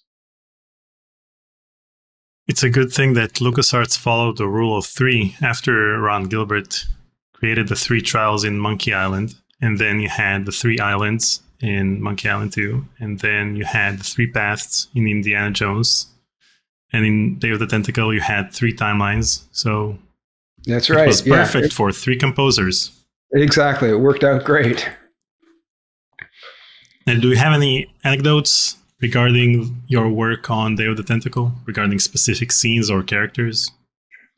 Uh, I think I I did the the Hoagie character, the theme for him. Um, I remember it was a very grim sounding theme in his room. I don't remember it specifically, uh, but I, you know, that was one of those ones where, you know, at the time I was kind of managing the department more, and it was very hard for me to get the focus uh, to do you know uh, big chunks of composing work, and so. Um, thankfully peter and clint did a bang up job on that one. And you know i contributed just little bits here and there and it was a it was a struggle. You know earlier i mentioned I, I, about the when the juices are flowing but i remember that you know around that time the juices were not flowing and it was a real struggle for me to compose Since it's November 2023 right now, this means that Sam Max celebrated its 30th anniversary. Sam Max hit the road, of course. So I'll start off by asking how was the workload divided between you, Peter McConnell, and Clint Bajakian when it came to scoring Sam Max hit the road? uh, i don't think i did much if anything on sam max hit the road musically um, i know uh, i i know peter did a, a lot. I'm pretty sure that it was you know largely peter but and i think clint was was in on it too. I don't remember specifically but i think it was basically the two of them. You're credited for music and sound programming. Yeah the sound programming would have been the imuse system that was used and that was sound programming i had done years earlier so i don't think i did a lot of actual sound programming and i probably wrote uh, a tune or two uh, on sam and max hit the road but i can't remember specifically which ones and i just definitely remember that you know my involvement was very small Okay. Moving on to Rebel Assault. On Rebel Assault, which also celebrated its 30th anniversary this month, you're credited for sound advice. And what I've been trying to figure out all these years was whether or not this was supposed to be a play on words or if you actually provided sound advice about sound. I think a little bit of both, actually. Um, yeah, I can, you know, I can tell you what the non sonic sound advice would have been, uh, which was um, so early on, Vince Lee. He was hired in as, as, as, a, as a tools programmer. He was, you know, doing essentially uh, tools work. And I remember uh, at, at one point he was working on video compression and uh, he had uh, come up with I, I forget what the um, Insane. insane was the name of it yeah and uh, i forget what the uh, video source material was but he showed this demo of of like flying through these canyons like an x-wing flying through these canyons and uh, the sound advice that I offered, which in some ways was kind of the the nugget that turned it into a game, was I was like, hey, you know, when you're flying by this canyon, uh, you know, flying along this canyon, and you see this other canyon off to the side that you're not flying down. What if when you came to that spot, it could fork and you could pick which canyon you were going to fly down? Um, and that was the the introduction of interactivity into that video compression algorithm, and that became the sort of basic framework of the game. And so uh, he did he did in fact code that up. Vince was an amazing programmer. Um, and uh, it was cool. It was like, whoa, you're flying along, and all of a sudden you can decide which way to go. And, and folks were like, let's make a game out of this. Um, and so, yeah, that was that was my advice. and it was sound. And it was sound. yeah. Dark Forces, which came out in 1995, was the first first person shooter game to utilize iMuse.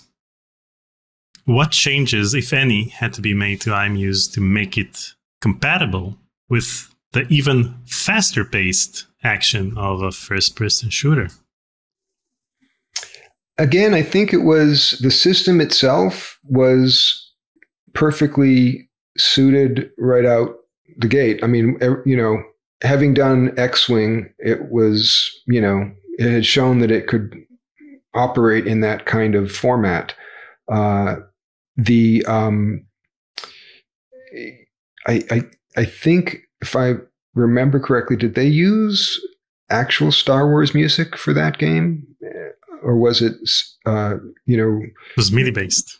It was MIDI based. Okay, so that was I think Clint did most of that work, and uh, so I don't think I was involved very directly in. Uh, in working on the music for that game, but again, I think that the system you know, we were always refining it. We were a lot, a lot, of times we were refining the tool set, the ability to audition things and all that. But I think, you know, for the most part, uh, after Monkey 2, when we had added that extra layer, I think it was pretty, uh, pretty stable uh, for the rest of the time um, until we got around to like doing streamed digital music. And I guess that was sometime after that. Yeah. So, for example, you said that in Woodtick you had 150 endings, 150 possible endings to various locations. So, in order to make it work in faster paced games, then you would have to have I don't know 300 endings, 400. Yeah, endings. no, we didn't. No, it wasn't that. It was no the musical that was a musical style that was very melodic. And uh, in a faster paced game, um, when you're, it, be, it's a little bit, it's less melodic, right? Because when you have a longer melody, and if you're part of the way through that melody, uh, and you have to exit that melody, it seemed worthwhile, although only in that one place and never again, uh, to write a special ending for each moment that you might want to exit that melody.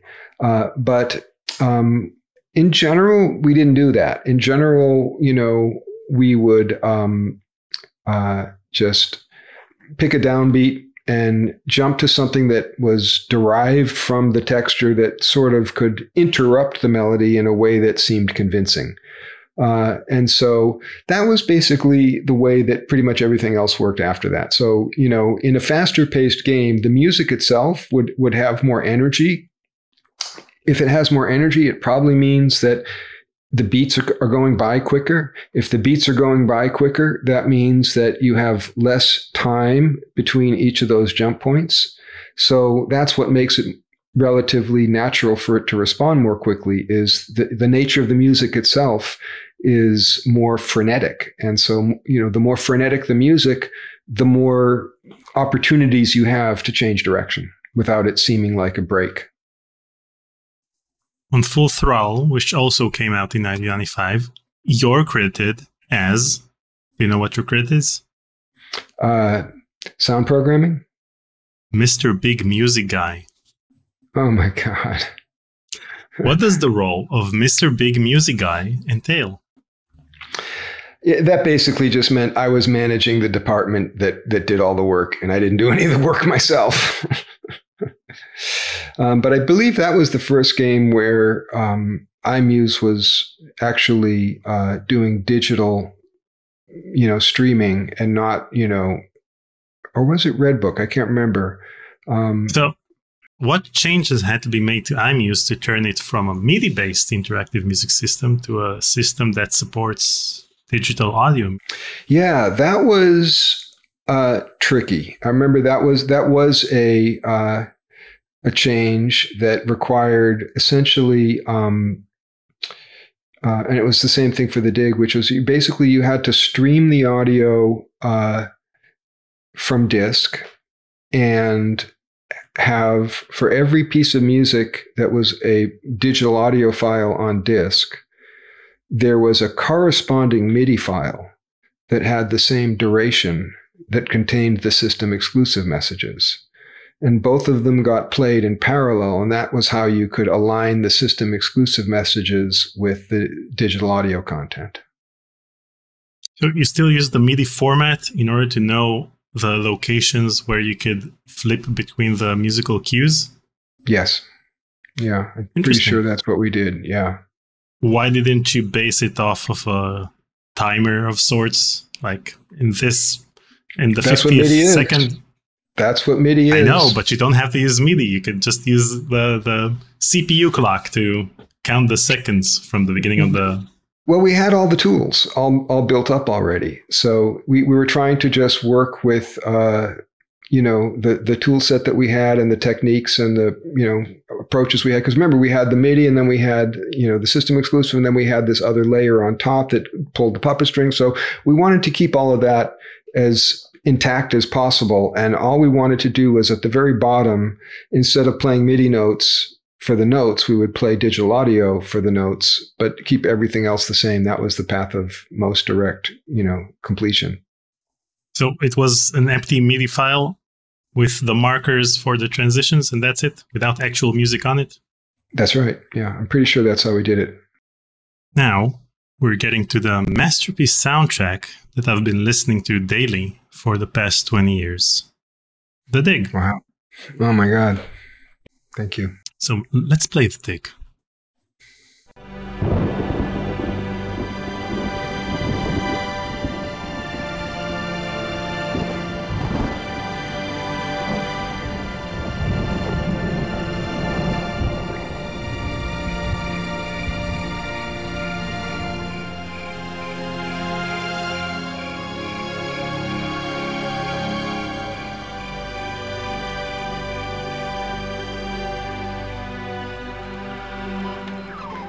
Course I miss you, darling. This is the loneliest place on earth. Most exciting thing ever happens here is the day when it don't rain.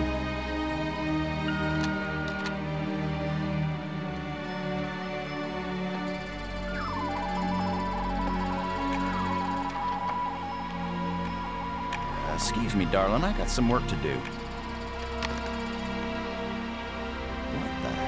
That?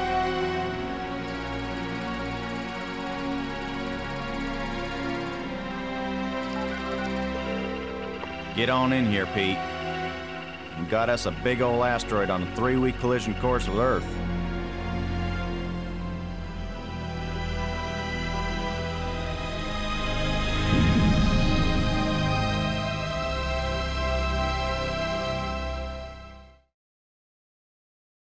So the reason I've been listening to it daily for the past 20 years is because ever since the game was released, like uh, I think two or three years after the game was released, it no longer supported modern systems. And only in 2003, emulators started coming out, so I could start playing the game again. And what I used to do is I'd start up the game and I'd have save games from different locations in the game.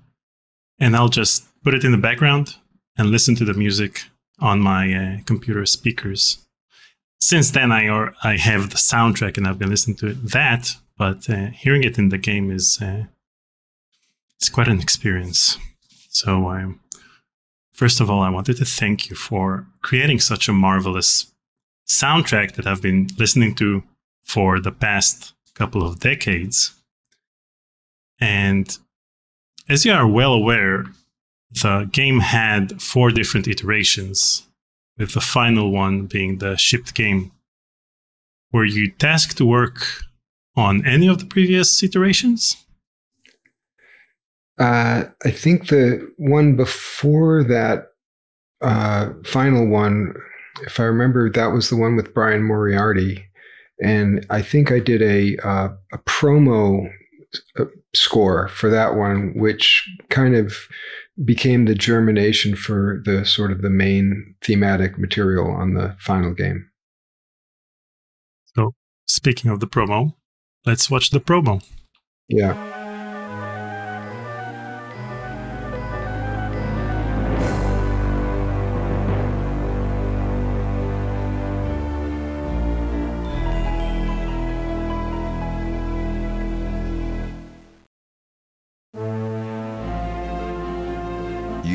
Commander Boston Low, NASA's best shuttle jockey.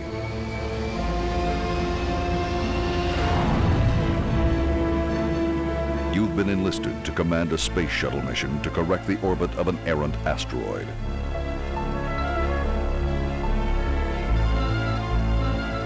No one could prepare you for what would happen next.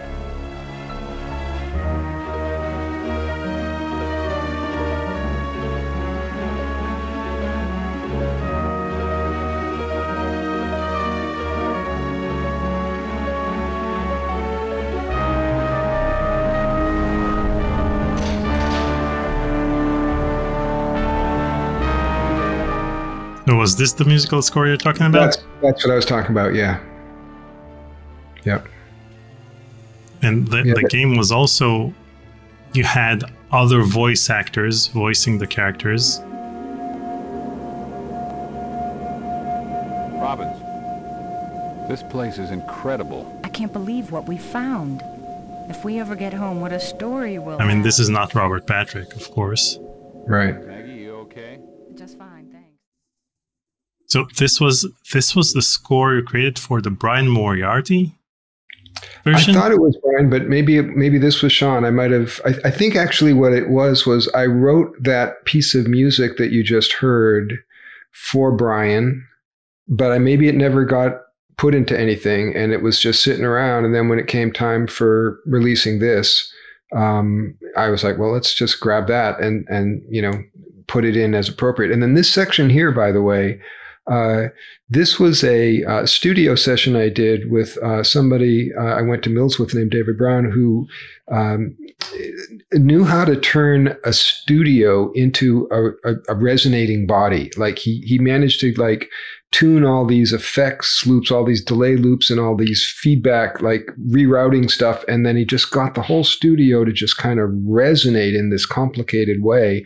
And we just recorded a bunch of it, and that's the sound you hear here. Now, while many LucasArts games feature numerous characters in various locations, the the dig mainly follows Boston Low, who most of the time navigates alone on this deserted planet. Could you elaborate a bit on the challenges you face while trying to compose music that conveys these themes of solitude and exploration? Boy, um, the funny thing is that uh, Don't tell me you went to the bathroom and the entire soundtrack was ready. no, no, nothing like that. But but you know, the funny thing is that um, I guess solitude and isolation must be you know uh, some some deep state inside of me because this this music really came from as as far inside of myself as as any music I've written, and uh, you know, it really felt like I was expressing in in many ways my point of view, my my my internal state in in writing this music. So I didn't really have to struggle with uh, trying to capture the feelings uh, because I I had those feelings, and so I was able to just you know evoke them. You evoked them perfectly. Thank and you. can you highlight any specific musical techniques or instruments you used to create the otherworldly soundscapes in the game? Yeah, I mean, certainly what I just mentioned about that studio feedback resonation was was one, but there was actually something else that was uh, extremely um, powerful, which is uh, somewhere along the line we determined that hey, let's you know release a soundtrack on Angel Records, and and then it was like you know Angel Records has this great big catalog of music, and somehow we got the rights to use. Uh, they had this one recording of Wagner overtures, and uh, we got the rights to that. And and so what I did is I went through, you know, basically an hour's worth of, of Wagner orchestral music, and I found every moment where there was a resonating chord, just some burbling, resonating chord of all kinds of different uh, energies in all kinds of different keys. And I just snipped them out. And I had a folder uh, on my Mac full of, you know, hundreds of chords labeled by what chord it was. Uh, and I ended up composing pieces of music that were kind of you know slow chord changes with slow moving melodies on top. And then i would take those snippets of wagner and i would mix them underneath the synthesizer music that i had written following the chord progression. So you might have a chord from one overture leading into a different chord from a completely different piece that you know just naturally transitioned and and that was what gave it that sort of that body that sort of otherworldly under the surface kind of you know rumbling depth. Uh, you can't beat wagner for that.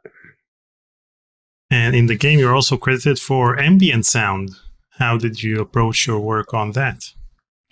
I think that would be that studio stuff that i that i mentioned. That would be uh you know where the ambient sound came in because that was really you know a lot of the ambiences i mean that had so many different characters over the course of like recording it for an hour. It went through so many different personalities that uh, you know we just cut in the parts that um, seemed appropriate for any given setting uh, and it really um, again very otherworldly. Between that and the wagner there was a lot of uh, you know differentness to the score other than just what you would get from a MIDI synthesizer. And were there any specific science fiction movies or movie scores or, or artists apart from Wagner who influenced your approach to the Dig's music? Interestingly enough, do you know a composer uh, by the name of Alan Hovhaness? No. He's a you know 20th century you know classical quote unquote uh, composer from Seattle. Um, he wrote a piece that is kind of one of the seminal pieces in my life that really captured a feeling for me uh, called Mysterious Mountain.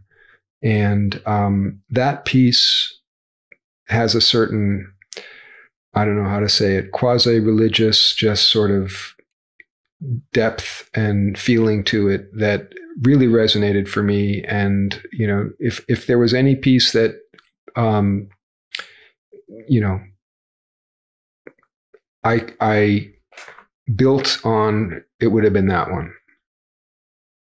With the help of iMuse, all of the music tracks in the game play in a, a continuous loop. When it came time to release the soundtrack, how did you approach the creation of the beginning and the end of each one of those tracks? Yeah, it's pretty interesting because in a, in a game, uh, typically the way those loops would work is you know you would enter some location and so you would have say a, an announcement fanfare that sort of you know introduced you like oh we're entering this location now. And then you would go into a melody that would play that would then loop that would then repeat but in a less f- big version. So you know a, a more sort of toned down version on the repeat, and then that repeat would loop. So, because the longer you stay there, you know, you just want to have be kind of quiet and backgroundy. And so, essentially, it would start big and work its way down to very little in the game. In a CD, you, it's the opposite. So you want to start so, sort of sub, subdued and then build up and build up and then you know get to the end of the piece and have kind of a climax and then it sort of winds down and it's done. So it's the opposite shape so to speak. So it was really a very intense like seven week process of essentially recomposing many of those pieces uh, in order to uh, you know make them flow more like a cd would flow and less like a game would flow and I also had the um, great pleasure of working with Paul McCandless, who is an amazing uh, oboe player, um, and uh, Emily Bezar, great singer, uh, and um, I think uh, Irene Sazer was in there as well, uh, violinist. I think there was uh, a lot of you know opportunity to to build uh, some actual live players on top of those textures as well. So it was both the Wagner and some some live recordings. I, I actually brought in a timpani to the studio, played live timpani. So, you know, there was a, a, a little bit of live, you know, live stuff and um, the Wagner and the synthesizer combined. I know. I remember seeing a photo of you playing those in the studio in the adventure. Yeah. I think that yeah. with the adventure that I got with the dig, there was either an article about you or an article about the, the LucasArts soundtracks, and there was that photo of you. Yeah, yeah. That was fun. On Outlaws, which was released in 1997, you're credited for being manager of sound development. What did that role entail in this game? Yeah, same thing as like Mr. Big Music Guy, which is I was managing the team that did all the work. Uh, I don't really think I did any of the work on that myself. That was entirely Clint's score. So, yeah, at a certain point, you know, I think it was starting with the dig and thereafter, um, the composers didn't collaborate on the same game, really. We would each just take an entire game to ourselves. Uh, and although I think there were some exceptions to that at some point, but um, the uh, so Outlaws was entirely Clint, and he nailed it. You know, he based the uh, Ennio Morricone sound, uh, his score on the Ennio Morricone sound, and we had a at that point we had a nice studio uh, in the LucasArts facility, so he was able to do all the live recording that you know is necessary to capture that spaghetti western feel, and he really got it. He he just you know Clint has an amazing um, sensibility, and he really brought it to the fore in that one. Curse of Monkey Island, which was released in 1997, was the first Monkey Island game which used recorded music instead of MIDI. Did the fact that you knew that all players would experience the same soundtrack, regardless of their sound card, influence your composing approach in this entry? Well, certainly because you know you could put all of the attention into just that one version. Um, so I had uh, a couple of E4 synthesizers, which were very high-end samplers. Uh, went through an ex- extensive effort to sort of collect samples and dial in the samples. So I had a, a MIDI template with you know, an orchestra and a bunch of, you know, organs, drums, you know, all the different uh, ethnic wind instruments, just sort of the whole the whole gamut of instruments right there at my fingertips. So in any piece that I was working on, I could just pick any one of those things and and uh, you know compose with it on MIDI. And then, of course, there was a significant amount of live players on that one as well. Um, uh, very notably, uh, the uh, accordion player, um, incredible guy, uh, a guy named Peter Suave. We uh, I saw him perform. So he had won an accordion competition where he had performed an extremely difficult accordion piece, solo accordion, like new music.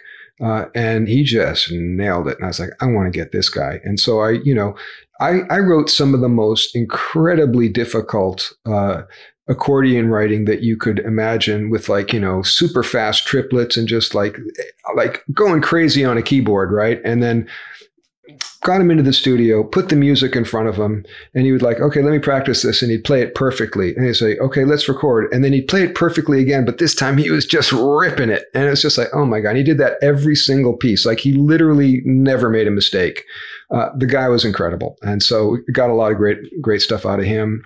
Um, I think uh, Peter played banjo for some of the um, I think what it's called the caber toss or whatever. Um, there was a lot of fun stuff with with live players. I mean, of course, there was the band part where it's like I actually had uh, two great musicians, uh, Paul van Wageningen on uh, drums and David Immergluck um, on guitar, who's a guitar player with Counting Crows, and he uh, nailed. They both nailed it. I was the weak link in that particular trio, but that was the underpinning for a lot of the reggae. Uh, so it was just a it was a lot of fun. And oh, um, Michael Spiro came in and, and brought like a truckload of percussion and did all kinds of great percussion work. So it was it was a lot of fun. And Curse of Monkey Island is also the first Monkey Island game to have voice acting.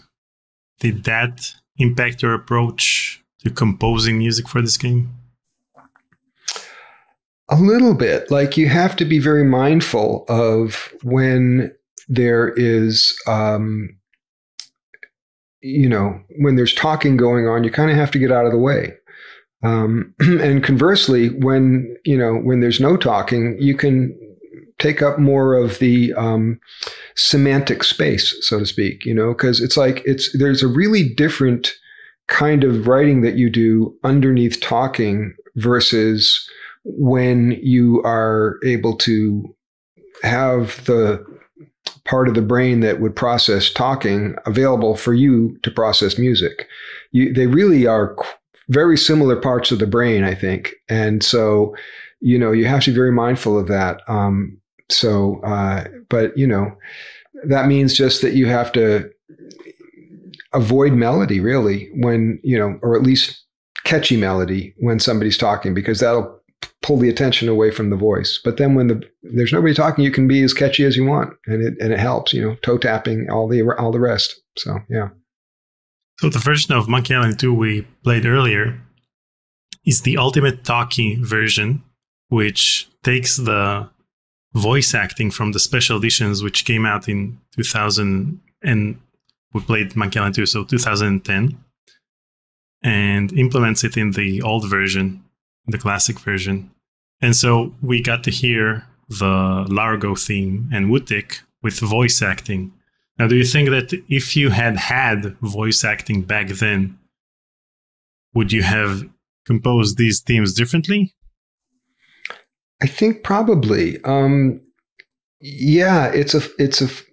I mean, the other thing to bear in mind is that uh, you don't actually hear the dialogue during the game development process because the dialogue gets recorded after everything is completely written. And you know they want to record the dialogue near the very end of the cycle because what if they change a line? They don't want to have to go back and re-record dialogue. So and they're always changing lines. Um, and so uh, you know you you're a lot of times you're flying blind as to what it's actually going to sound like when uh, you actually do get the voices dropped in the middle of a piece of music you've been writing. So you just kind of have to, you know, try to guess basically what it's going to all sound like when it comes together. And then there's, of course, finally, there's the mixing possibility. Like you can always, you know, bring the music down and bring the voice up and make it, make sure that the voice, you know, gets the prominence that it deserves. In Curse of Island, we also have a pirate I was meant to be. How did that come about? Yeah, so Jonathan Ackley, the, the project leader, um, he basically came up with a rap, a pirate rap. Um, and, you know, he wrote all the verses out. And uh, I remember thinking, you know what? This thing needs a chorus. Uh, and I actually came up with that the, the chorus line, "A pirate I was meant to be, trim the sails and roam the sea," uh, because it was like it, it, was really brilliant the writing, but it just needed that one thing at the end that always kind of, you know, is the same. And so, um, and then it was uh, okay, let's make a tune. And so, uh, you know, I wrote the, the tune, and and um, the tricky part of that tune is uh, after each cycle it just loops around and loops around on that one little vamp until you make a selection, and then it goes a little da da da da da da dum and starts in with the melody again. And uh, and so uh, yeah, they recorded it with you know pirate. Like I actually did a demo of of what it should sound like with with singing, and then they got you know the guys who actually voiced those characters to um, to do the actual singing in the studio based on my demo. And uh, the funny thing is, I er, in the chorus I had it in three part harmony, but in the studio, they were like, "We're not doing three part harmony. We're just going to all sing the same melody line at the end and you know double each other." So, and it actually probably made sense because pirates might ha- might have had a little trouble in real life singing three part harmony. It's not really their thing, you know. So, I think they made the right call. It's awesome that all of this happened in the golden era of LucasArts when they could give you enough budget to do something like that, which is neither a puzzle nor something that progresses the game. If anything, in non-English versions of the game, this part was removed because in the localization teams, they didn't have enough budget to re-record the entire thing or think of rhymes or or changing everything over there. So they just removed it. Yeah, that's right. It was great that they would allow that and let us do that. It was really fun. Now, in 1998, Grim Fandango was released, and again, you're the sound production supervisor. Did you take any part in the yeah in no, something same, sound related in this game? No, it was all the same thing. It basically meant I was, you know, I was the guy running the, you know, the department just uh, while everybody else did the work. And uh, in, that, in this case, Peter did an amazing score for Grim Fandango. He had, you know, the studio to work with, which he used to great effect. And um, yeah, one of the one of the great scores. Escape from Monkey Island, which was released in 2000, was probably the last Monkey Island to use iMuse, or even the last game to use iMuse. Was iMuse even a prominent part of the production of this game?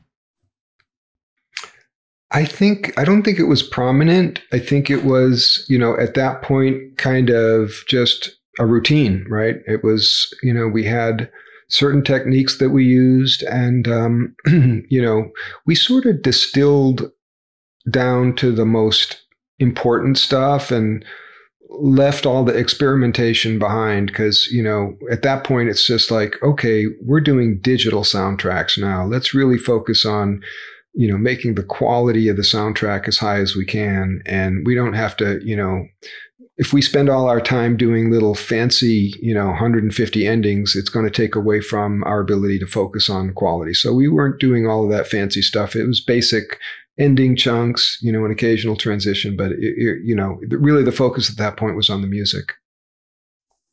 So, how soon after the release of Escape from Monkey Island did you leave LucasArts? I actually left LucasArts before uh, that game really got uh, before the music production on that game. So, um, and I think uh, you know, Peter and I, it was really interesting. Peter and I uh, left LucasArts in the spring of 2000 uh, to do a startup, and we left Clint in charge of the department. And, uh, you know, Escape from Monkey Island was on the docket. And, you know, it was clear that, you know, uh, Peter and I would be able to, you know, write some music for Escape from Monkey Island, but not a ton. And that probably the lion's share would have to be done by Clint. And uh, he realized that, as he put it, he made the ultimate resource allocation decision, which was he resigned as the head of the department uh, and you know became a consultant so that he could actually focus on writing the score for the game. So uh, that's how that came about. And what did you do after LucasArts? So Peter and I did a, a, a, software startup for a number of years, trying to do with uh, sort of with visuals, kind of what we had done with iMuse, and and we we got some traction, but ultimately, uh, you know, after five or six, seven years, uh, you know, we we ran out of money and had to just go our separate ways and do other things. And in 2003, you composed the music for SimCity 4. Yeah, I just did one piece and it was a really fun piece. Um, you know, it was, uh, there was an ambient requirement. It had to be sort of ambient and so, um, and long. It was like, I think five minutes long. Uh, and so I really enjoyed that one a lot. It was, you know, it, it, it, it was a piece that was like a slow burn. It sort of started out kind of gentle, but then it kind of builded and kind of had had some, you know, some real sort of power toward the end. So it was it was a fun piece. Tales of Monkey Island came out in 2009. What was it like getting back to the Monkey Island series after nine years? Yeah, that was great. Um, the uh, the you know interestingly enough it was you know full circle. Like the version that i did was back to midi right? Because they uh they for some reason they didn't have enough space i guess in in those or i guess it was downloadable or one of those things. But some for some reason it was like oh we don't have room for digital music. We're going to have to do midi music um, which would which was different because now you know in the modern era there you know general MIDI was a uh, a format that would allow uh, computers to play MIDI music in a slightly higher you know uh, quality than uh, what we were used to back in the day. So it wasn't that terrible, but it, there was still a lot of variation among depending upon which general MIDI set you had on any given computer. It might be different. So it wasn't like everybody got exactly the same score. Although I think at some point they did release a CD version of it where where someone had taken those MIDI files and converted them to to digital audio tracks. But that was um, pretty fun because you know I kind of knew the the style and and the themes pretty well, uh, and and it was really just a, it was like a revisiting something that was very familiar and comfortable and and warm and friendly for me. I really enjoyed working on that game. So the soundtrack was recorded in MIDI, like you said, to reduce the data size for the Wii version, but for the Windows version, they converted the music to WAV files. Yeah, and I didn't do those conversions, but I think they came out pretty well. And what modifications did you make to your workflow to accommodate the episodic nature of the, of the game? Uh, it, it really didn't change the workflow so much, uh, other than the idea that you get really five different shots at. I think there were five episodes, and you you get like a chance to take a crack at a score. And then you know a few months later it's like okay take another crack at another score. And you get it's like literally getting five at bats. Uh, and so by the end i was pretty pretty comfortable with where things were you know a, a little rusty at the beginning. And then by the end i was back in the saddle. So that was kind of nice. And in 2009 and 2010 the monkey island special editions were released. Did you did you take part in the recording of the remastered soundtracks of these special editions? Um, I didn't. And, you know, it's an interesting thing. Uh, I've always um, found that the original, uh, perf- you know, mid- MIDI creation of anything, any kind of piece, but you know, true Monkey Island as well as anything else, has a kind of coherence to it, and it it always uh, you know I've heard a lot of different um, versions of some of the Monkey Island material where they took a MIDI file and recreated it on different equipment, and when you do that, e- even though it can sound pretty good, it, it never quite has the same blend of the parts because when you're performing it and you're in real time, you have that feedback of how your touch is based on the sound of the instrument you're playing and how that instrument responds in terms of you know the velocity and the volume and the timbre.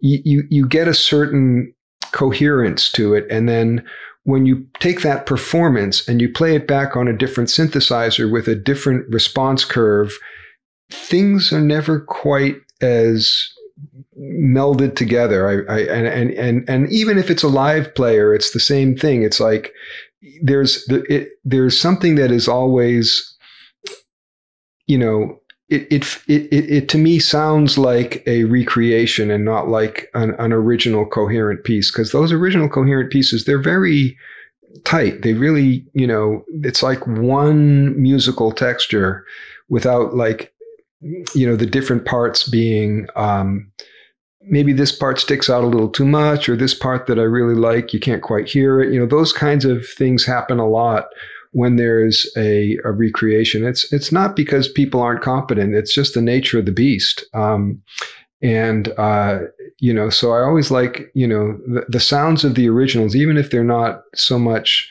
Even if the synthesizer is an older synthesizer, it has a certain integrity to it that I always appreciate. Now, in 2021, you played electric bass on Psychonauts 2. Right. What can you tell us about the production of the game's soundtrack? Given that the, there's the documentary Psychodyssey.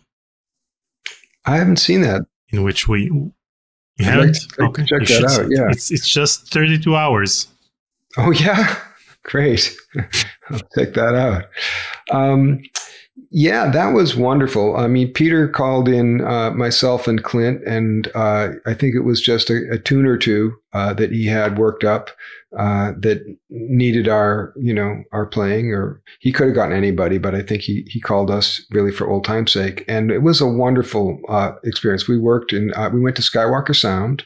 Um, Leslie Ann Jones was the engineer, who's a, just a, a, a legendary engineer.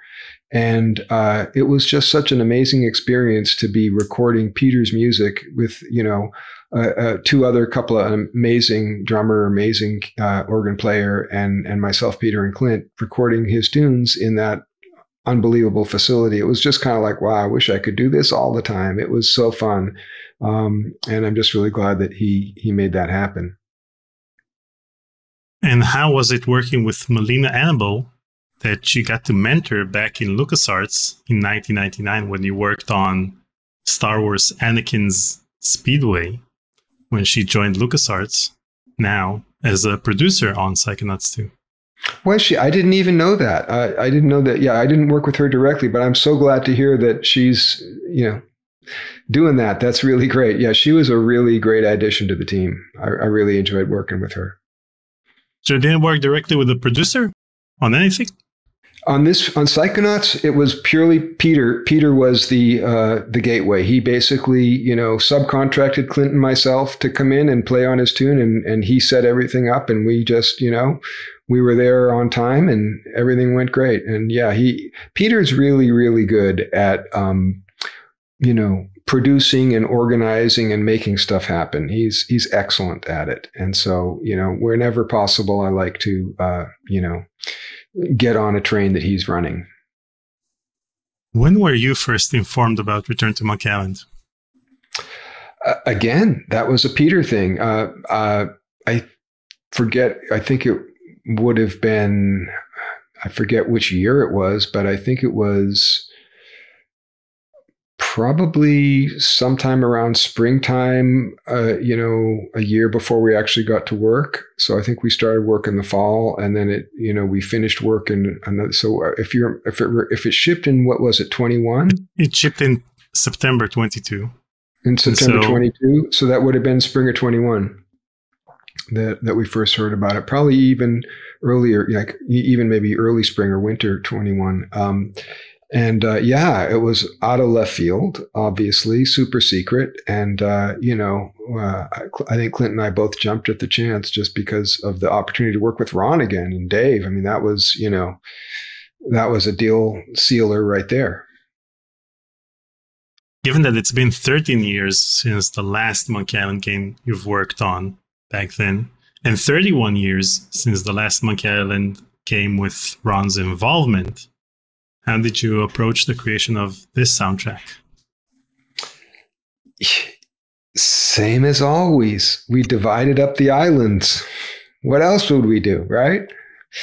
Um, so uh, yeah, that worked out pretty well. Um, and uh, you know, I I I I did Mêlée, and uh, you know, those guys did their their islands, and we we really, um, you know, it, again, we we did some pieces that sort of crossed boundaries, so to speak. Um, you know, uh, Clint did the, the, the voodoo stuff on on Mêlée. Uh, you know, and and that's good too because it sort of you know it mixes things up a little bit. We, you know, we had different sounds somewhat, and so you know it brings a little bit of variety to um, have you know some boundary crossing. And then I think at the very beginning of the game, we all contributed that prelude section. We all contributed to it. Um, you know, Peter wrote the part that was in the in the you know darkness, and then um, uh, I, I, think I did the carnival stuff, and and, and Clint did. Uh, some of the stuff in in one of the rooms there, and uh, Peter did another room. So we all, you know,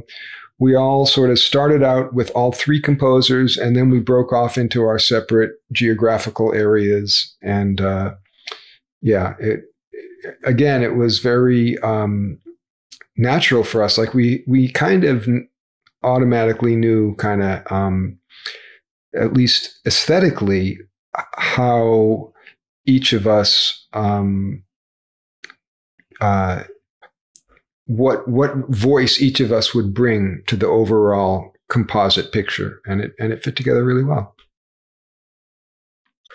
Now that we've reviewed the most of the games that you've worked on, I wanted to ask you what has been, in your opinion, the most significant change in the game music industry since you started your career?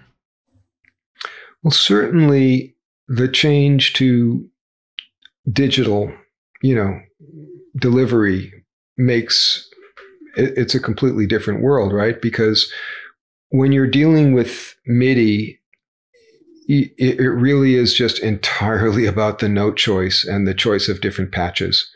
Um, so you know, especially when it's like sound cards, like AdLib or Roland or you know any of that stuff, it's like everybody's working with the same very limited palette. And what you do with that palette you know you can put some real creativity into it but the actual sounds themselves are the same across the entire industry. But the moment you open up uh, you know digital delivery where you're delivering a waveform at that point you've entered the big world. At that point absolutely any sound that you can get on tape tape in quotes uh, you can you can produce and deliver. And that means you know live players it means advanced synthesis techniques it means you know combining sound effects and music.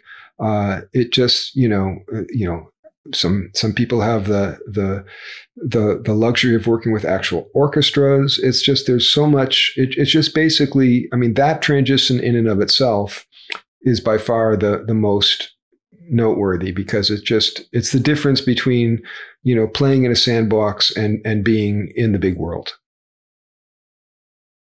And have you ever had to alter a composition in order to adhere to certain technical limitations? Um you know not not so much. I mean technical limitations generally aren't you know, like if things like talking like memory or things like that, not really. Um, but certainly aesthetic alterations are always required. you know, you you you you obviously have to um, uh, conform to the um, aesthetic vision of whoever's leading the project, and you take your best shot at what they're going to want, and uh, you know, different project leaders have different degrees of uh, involvement and detail in how they and how much guidance they provide over music. Some are just like you know, gonna want to really uh, you know guide the composition in terms of really specifying the emotions and you know the parameters. Others just say write what you think will work and then they tell you if something's off target but you know hopefully a lot of it's on target what advice would you give game developers looking to create a cohesive audio-visual experience in their games? Wow. Um,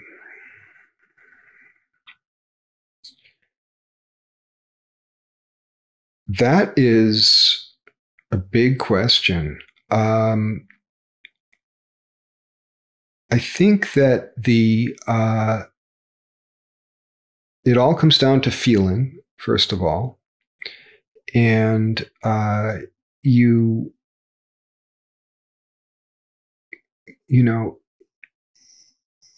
if your visuals are fast moving, chaotic, you know, a lot of stuff coming at you, then the music's probably going to be that way too.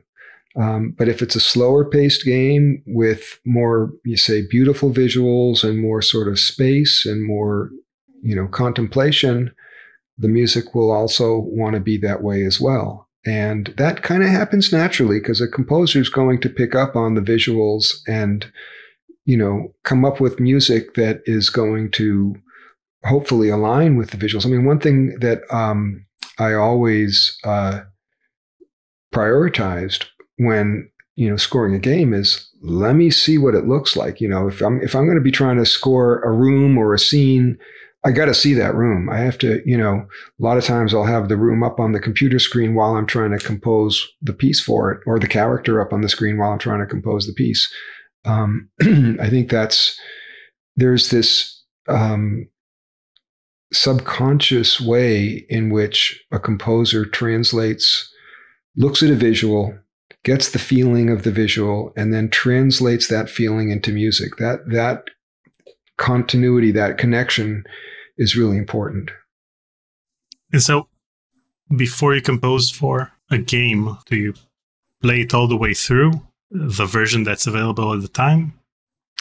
To whatever degree, yeah. I mean, I, I I've, I've never been a, a, gamer per se myself, but whenever I'm working on a game, I absolutely you know, to whatever degree it's playable, which oftentimes early on in the development, it's not that playable, but to whatever degree you can get through it, uh, I, will play through it. Or if that's not really possible, then I'll just say, give me screenshots. Let me see what this stuff looks like because you want to, you want to start, um, living in that world. You want to start experiencing that world and seeing how you feel when you're in that world before you try to write music for it.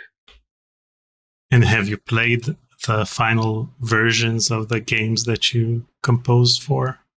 Yeah, generally, you know, especially late in the production cycle, you want to play through several times as you're, you know, winding through because you always find things when you're doing those sort of late playthroughs where you didn't quite get it right as a composer and you make adjustments because, you know, a lot of times it's interesting, a lot of times the um, others on the development team uh, you know, sometimes music is, you know, clearly not right for a particular situation. You get some feedback on that. But a lot of times, uh, there are ways in which the music is not right that wouldn't be apparent to somebody who isn't the composer or p- potentially, you know, an extremely astute music uh, listener who's also a composer but didn't happen to write that music but knows how to write music because because you realize things like uh, oh, this melody is too prominent, or this melody has too much of an edge. It's got to be a little bit more mellow, a little friendlier, stuff, stuff like that, that you can't necessarily tell. And a lot of times you don't, especially in a game, you, you don't have the ability to calibrate those things unless you're coming from the part of the game that precedes that section, right? So if you just are in that section all by itself, maybe things seem to work. But coming out of this other section that has a particular energy and going into this new section, you might realize, oh, there needs to be an energetic shift here because the energy of the game just changed, but the musical energy didn't change accordingly. So we need to adjust that, right? That's the kind of stuff that you can only get from doing playthroughs late in the process where everything's all in place. And then you can really calibrate the movement through it, which is a big part of a game. So have you played the dig all the way through? Back in the day, yeah. Uh, not well, lately. yeah. So, how do you ensure that your music contributes to the overall experience without overpowering other game elements? Yeah, again, it's everything I've just been talking about. You you have to um, calibrate. You have to. It's really I, that's the word I keep coming back to. It's like you you have to sort of sense is is this you know, contributing to the overall experience in the right way, or is it taking too much attention, or alternatively, is it too weak and the and the experience needs more from it? You know, you don't. It could you could be off in either direction, and uh, it's a very subtle thing because it's it's you know you really do have to. Uh, and then what, what you have to in a film there's just one path but in a game there's all these other paths that you can take and sometimes you'll arrive at a room from one direction and it seems fine then you'll arrive at it from another direction and you realize no coming from this direction it seems a little bit off so you know it's not just playing through once but sort of playing the space so to speak playing around in the space and following the different paths uh, different ways to see how it feels uh, for different players and in your opinion, what distinguishes great game music from merely functional background music? Um, I think it's uh, you know it's two things really. It's how how well does it uh, conform to the energetic changes in the game? How well does it you know not just uh, sort of score an obvious emotion to an obvious situation, but understand that, you know, in the larger nuance of the game, this has this particular uh, place in the scheme of things, and how well does the music support that? But that's sort of the music for picture uh, challenge in general. And then there's just how good is the music? You know, how do, does the music evoke really strong feelings, and does it do so in a way that doesn't make you feel manipulated, right? Because it's, it, you know, music can be very manipulative. And I think if you follow sort of, um, you know, uh, cliche patterns that work, be, they're cliches because they work. But on some level, I think you can sense that, you know, this is, a, this is manipulating me in a cliche way versus this is making a different, a unique statement that also happens to really carry a lot of emotion. That's what that's the hard thing is it's it's it's easy to make a unique statement. It's easy to, you know, carry a lot of emotion. It's hard to make a unique statement that that carries the right emotion. That's that's really challenging. Now you probably know the impact your music had on adventure game fans around the world. What legacy or impact do you hope that your work in game music will leave on the gaming industry?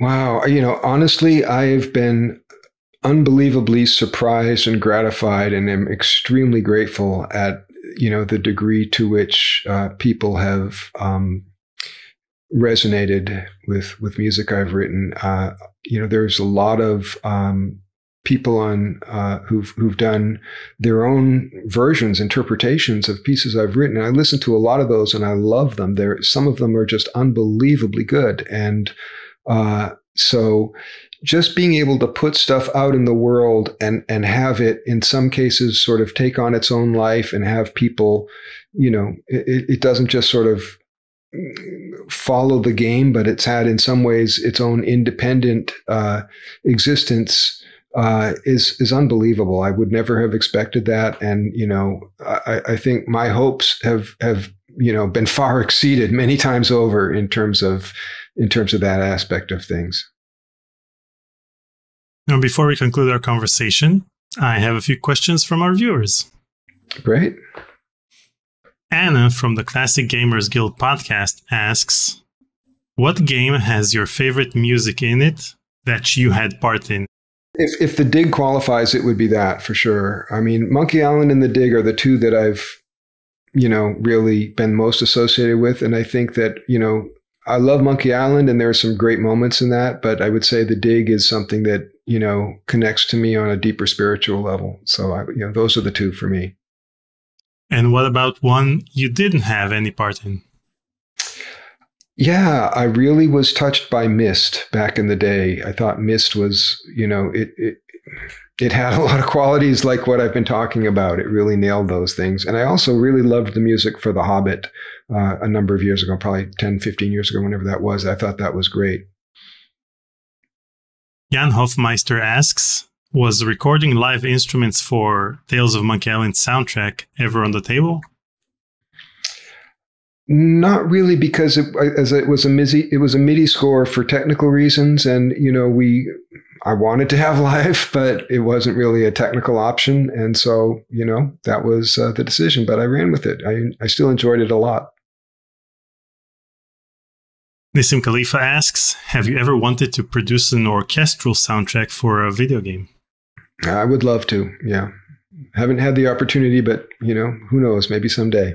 I would very much love that. Eugene Sandelenko asks, "Do you miss iMuse?"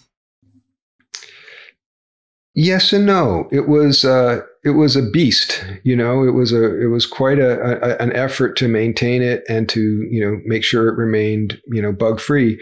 Uh, by the same token, it was extremely um, supportive of creative options. So, yeah, I would I would say on balance, I miss it. Yeah.